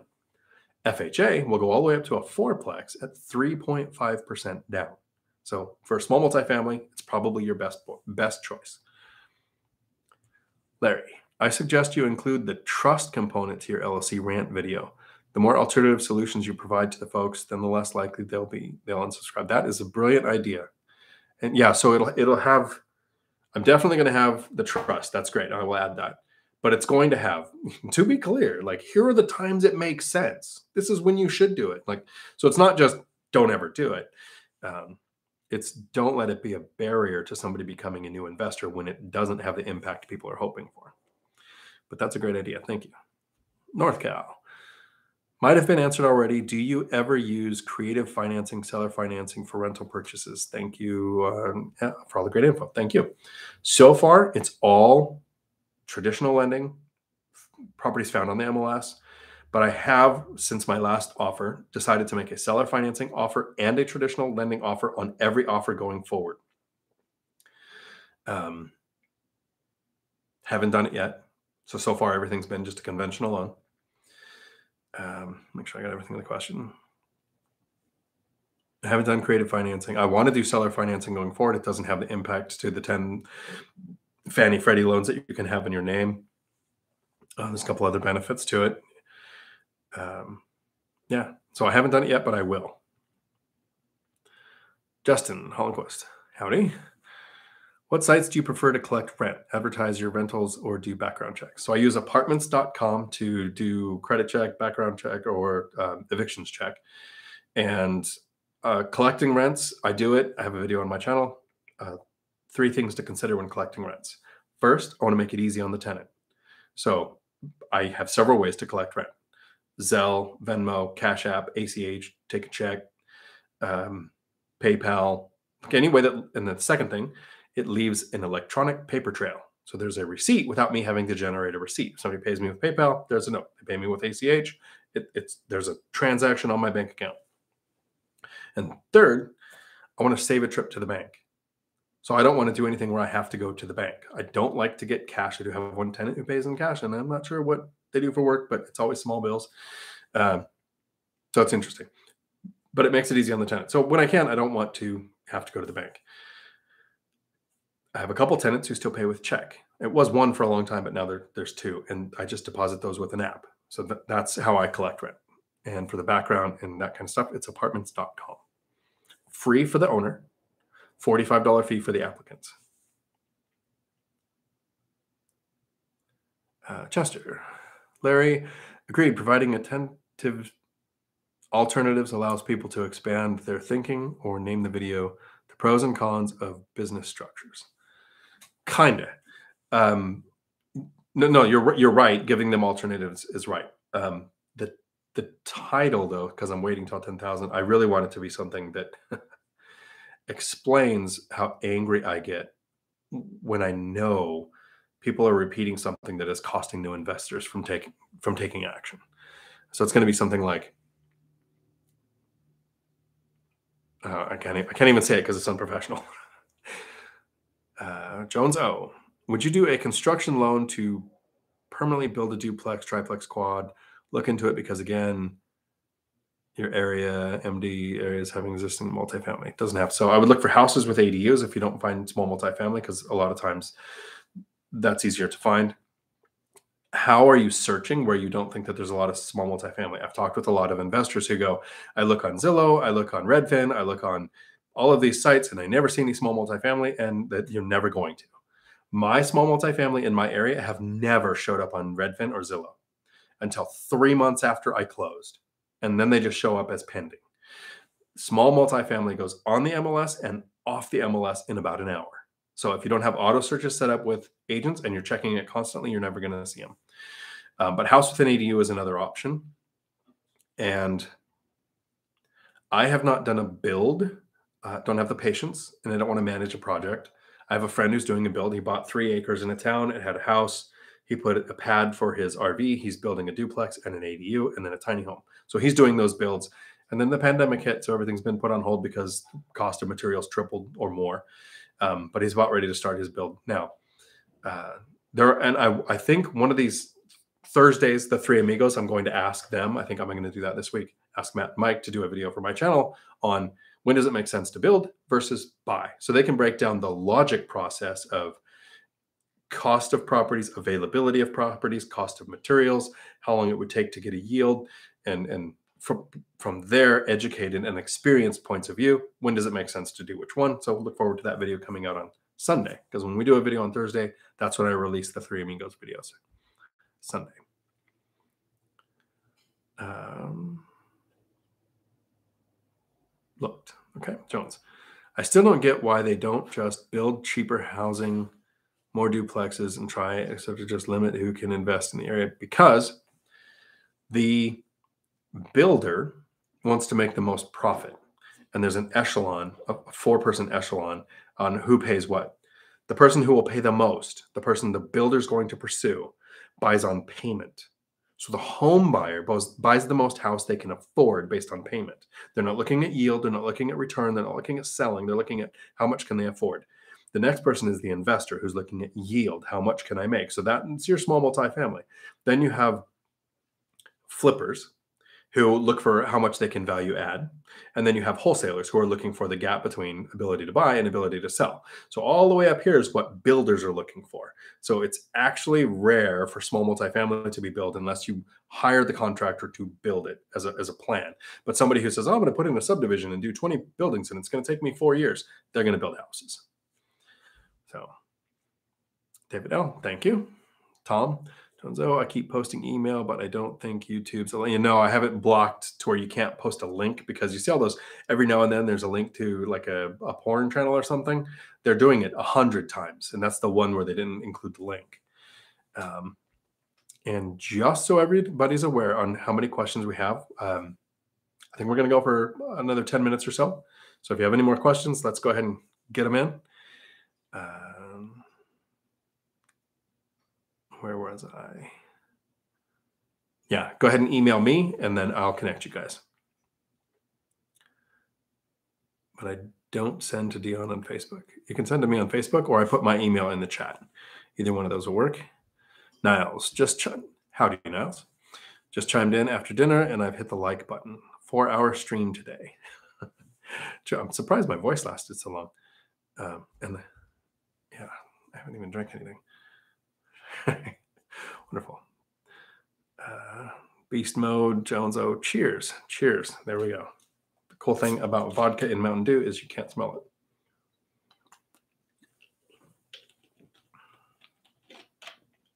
You can taste it though. I bet the LLC ramp boosts subscriber count. Yeah, we'll we'll see. Here's to hoping. Tom, yeah, he does. But when I get the long vids, they are great to listen to while driving. Yes. So I, I, do try to make every video 10 minutes. So here's a breakdown of the channel. I try to do 10 minute videos on something that teaches you like the last one was which locks to use. And you would think it would be just like, here's 10 seconds. This is the lock I use. Thanks very much. No, it's this is the lock. This is why, because of how the batteries last. This is the configuration I do. This is where I buy them. This is what it does for the tenant. This is how it limits tenant turnover. This is how it helps the binder strategy. Like all it takes to explain why this is a lock to use takes 10 minutes. So most of my videos I shoot for 10 minutes. When I do a deal deep delve with somebody where I go into one of their deals, we usually talk for 30 minutes and I try to narrow that down to at least 20 or less. So I get that most of the people that are here for my content are looking for that short video. But the live streams, there are some people who want two or three hours of content. And that's what I look for. When I'm looking for something, I, have got a long drive or I'm at work and I can put an earbud in. Uh, I want long content. So I'm hoping that the people who want the short content recognize don't click on the live stream, you know, because um, somebody sent me a message complaining about the links of the live stream that the benefit to my channel is they're all short videos and then the live streams come out and they're three hours long. And I'm like, right.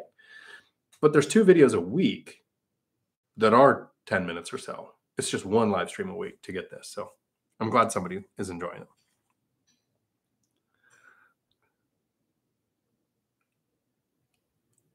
Yeah.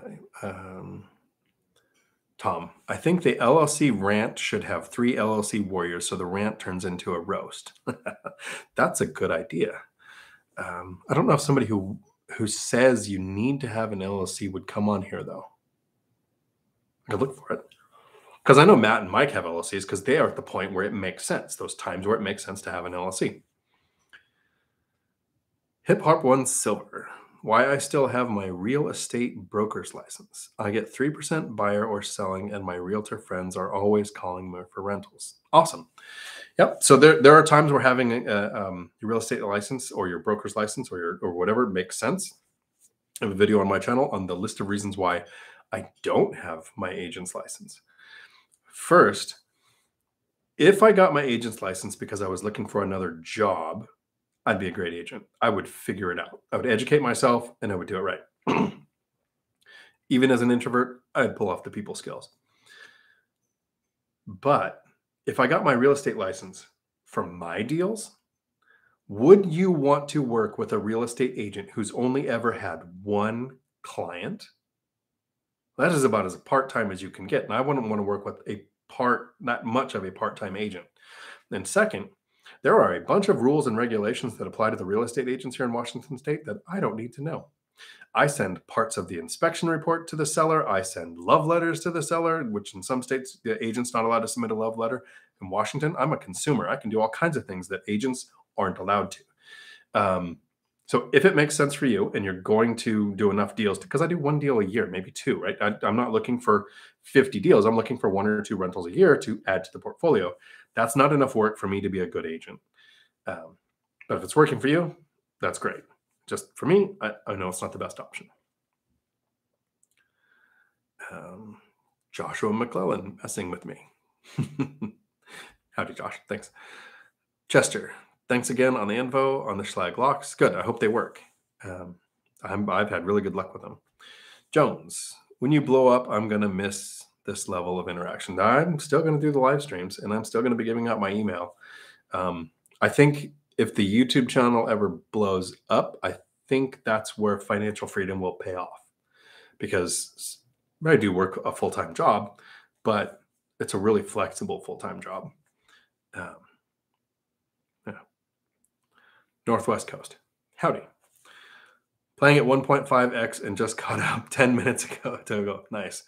Thanks for the content as always. Awesome. That is that is a smart thing. I do appreciate when people hang out and they have questions and they help me with this interaction, but 1.5 speed helps because especially with my memory issues, sometimes it takes me 2 or 3 seconds to get my thoughts in order to make sure that I'm giving something that's clear and concise. Rob. Thanks. Larry. The dark side of LLCs, cost versus protection when using umbrellas and trusts. That's a that's a good one. I like it. Tom, after three hours, still have over 50 viewers and like 84 likes. Yeah, I do appreciate the likes. Thank you. Um, and look, there's another porn video you can try to click on. If you can't click on it, just copy it, paste it to the search bar. Let me know what you find. Don't do that. Tom, 92. Nice. Scott, great job, Dion. I've heard bits and pieces. I'm going to re listen to this one in its entirety. Awesome. Great. No, I appreciate it. Jones. Good night. So I think I'll give it like one more minute in case you have any questions. But I really just want to say thanks for everybody who took the time to hang out tonight. I really hope the information helped. Um, next Tuesday, 4 p.m., I'll be back here. Um, yeah, I look forward to these. I, I think sometimes people ask a question and that sparks a whole conversation on a topic. I'm not even tracking that it's something I should cover. So, Josh, hi, Dion. Little off topic. I'm military PCSing soon from Florida to Hawaii. I recently bought a home in Florida using your VA loan. What kind of loan can I use to buy a home in Hawaii with no or low money down? This is not sarcasm. This is a real answer. Your VA loan. You can have more than one. You can use it more than multiple times.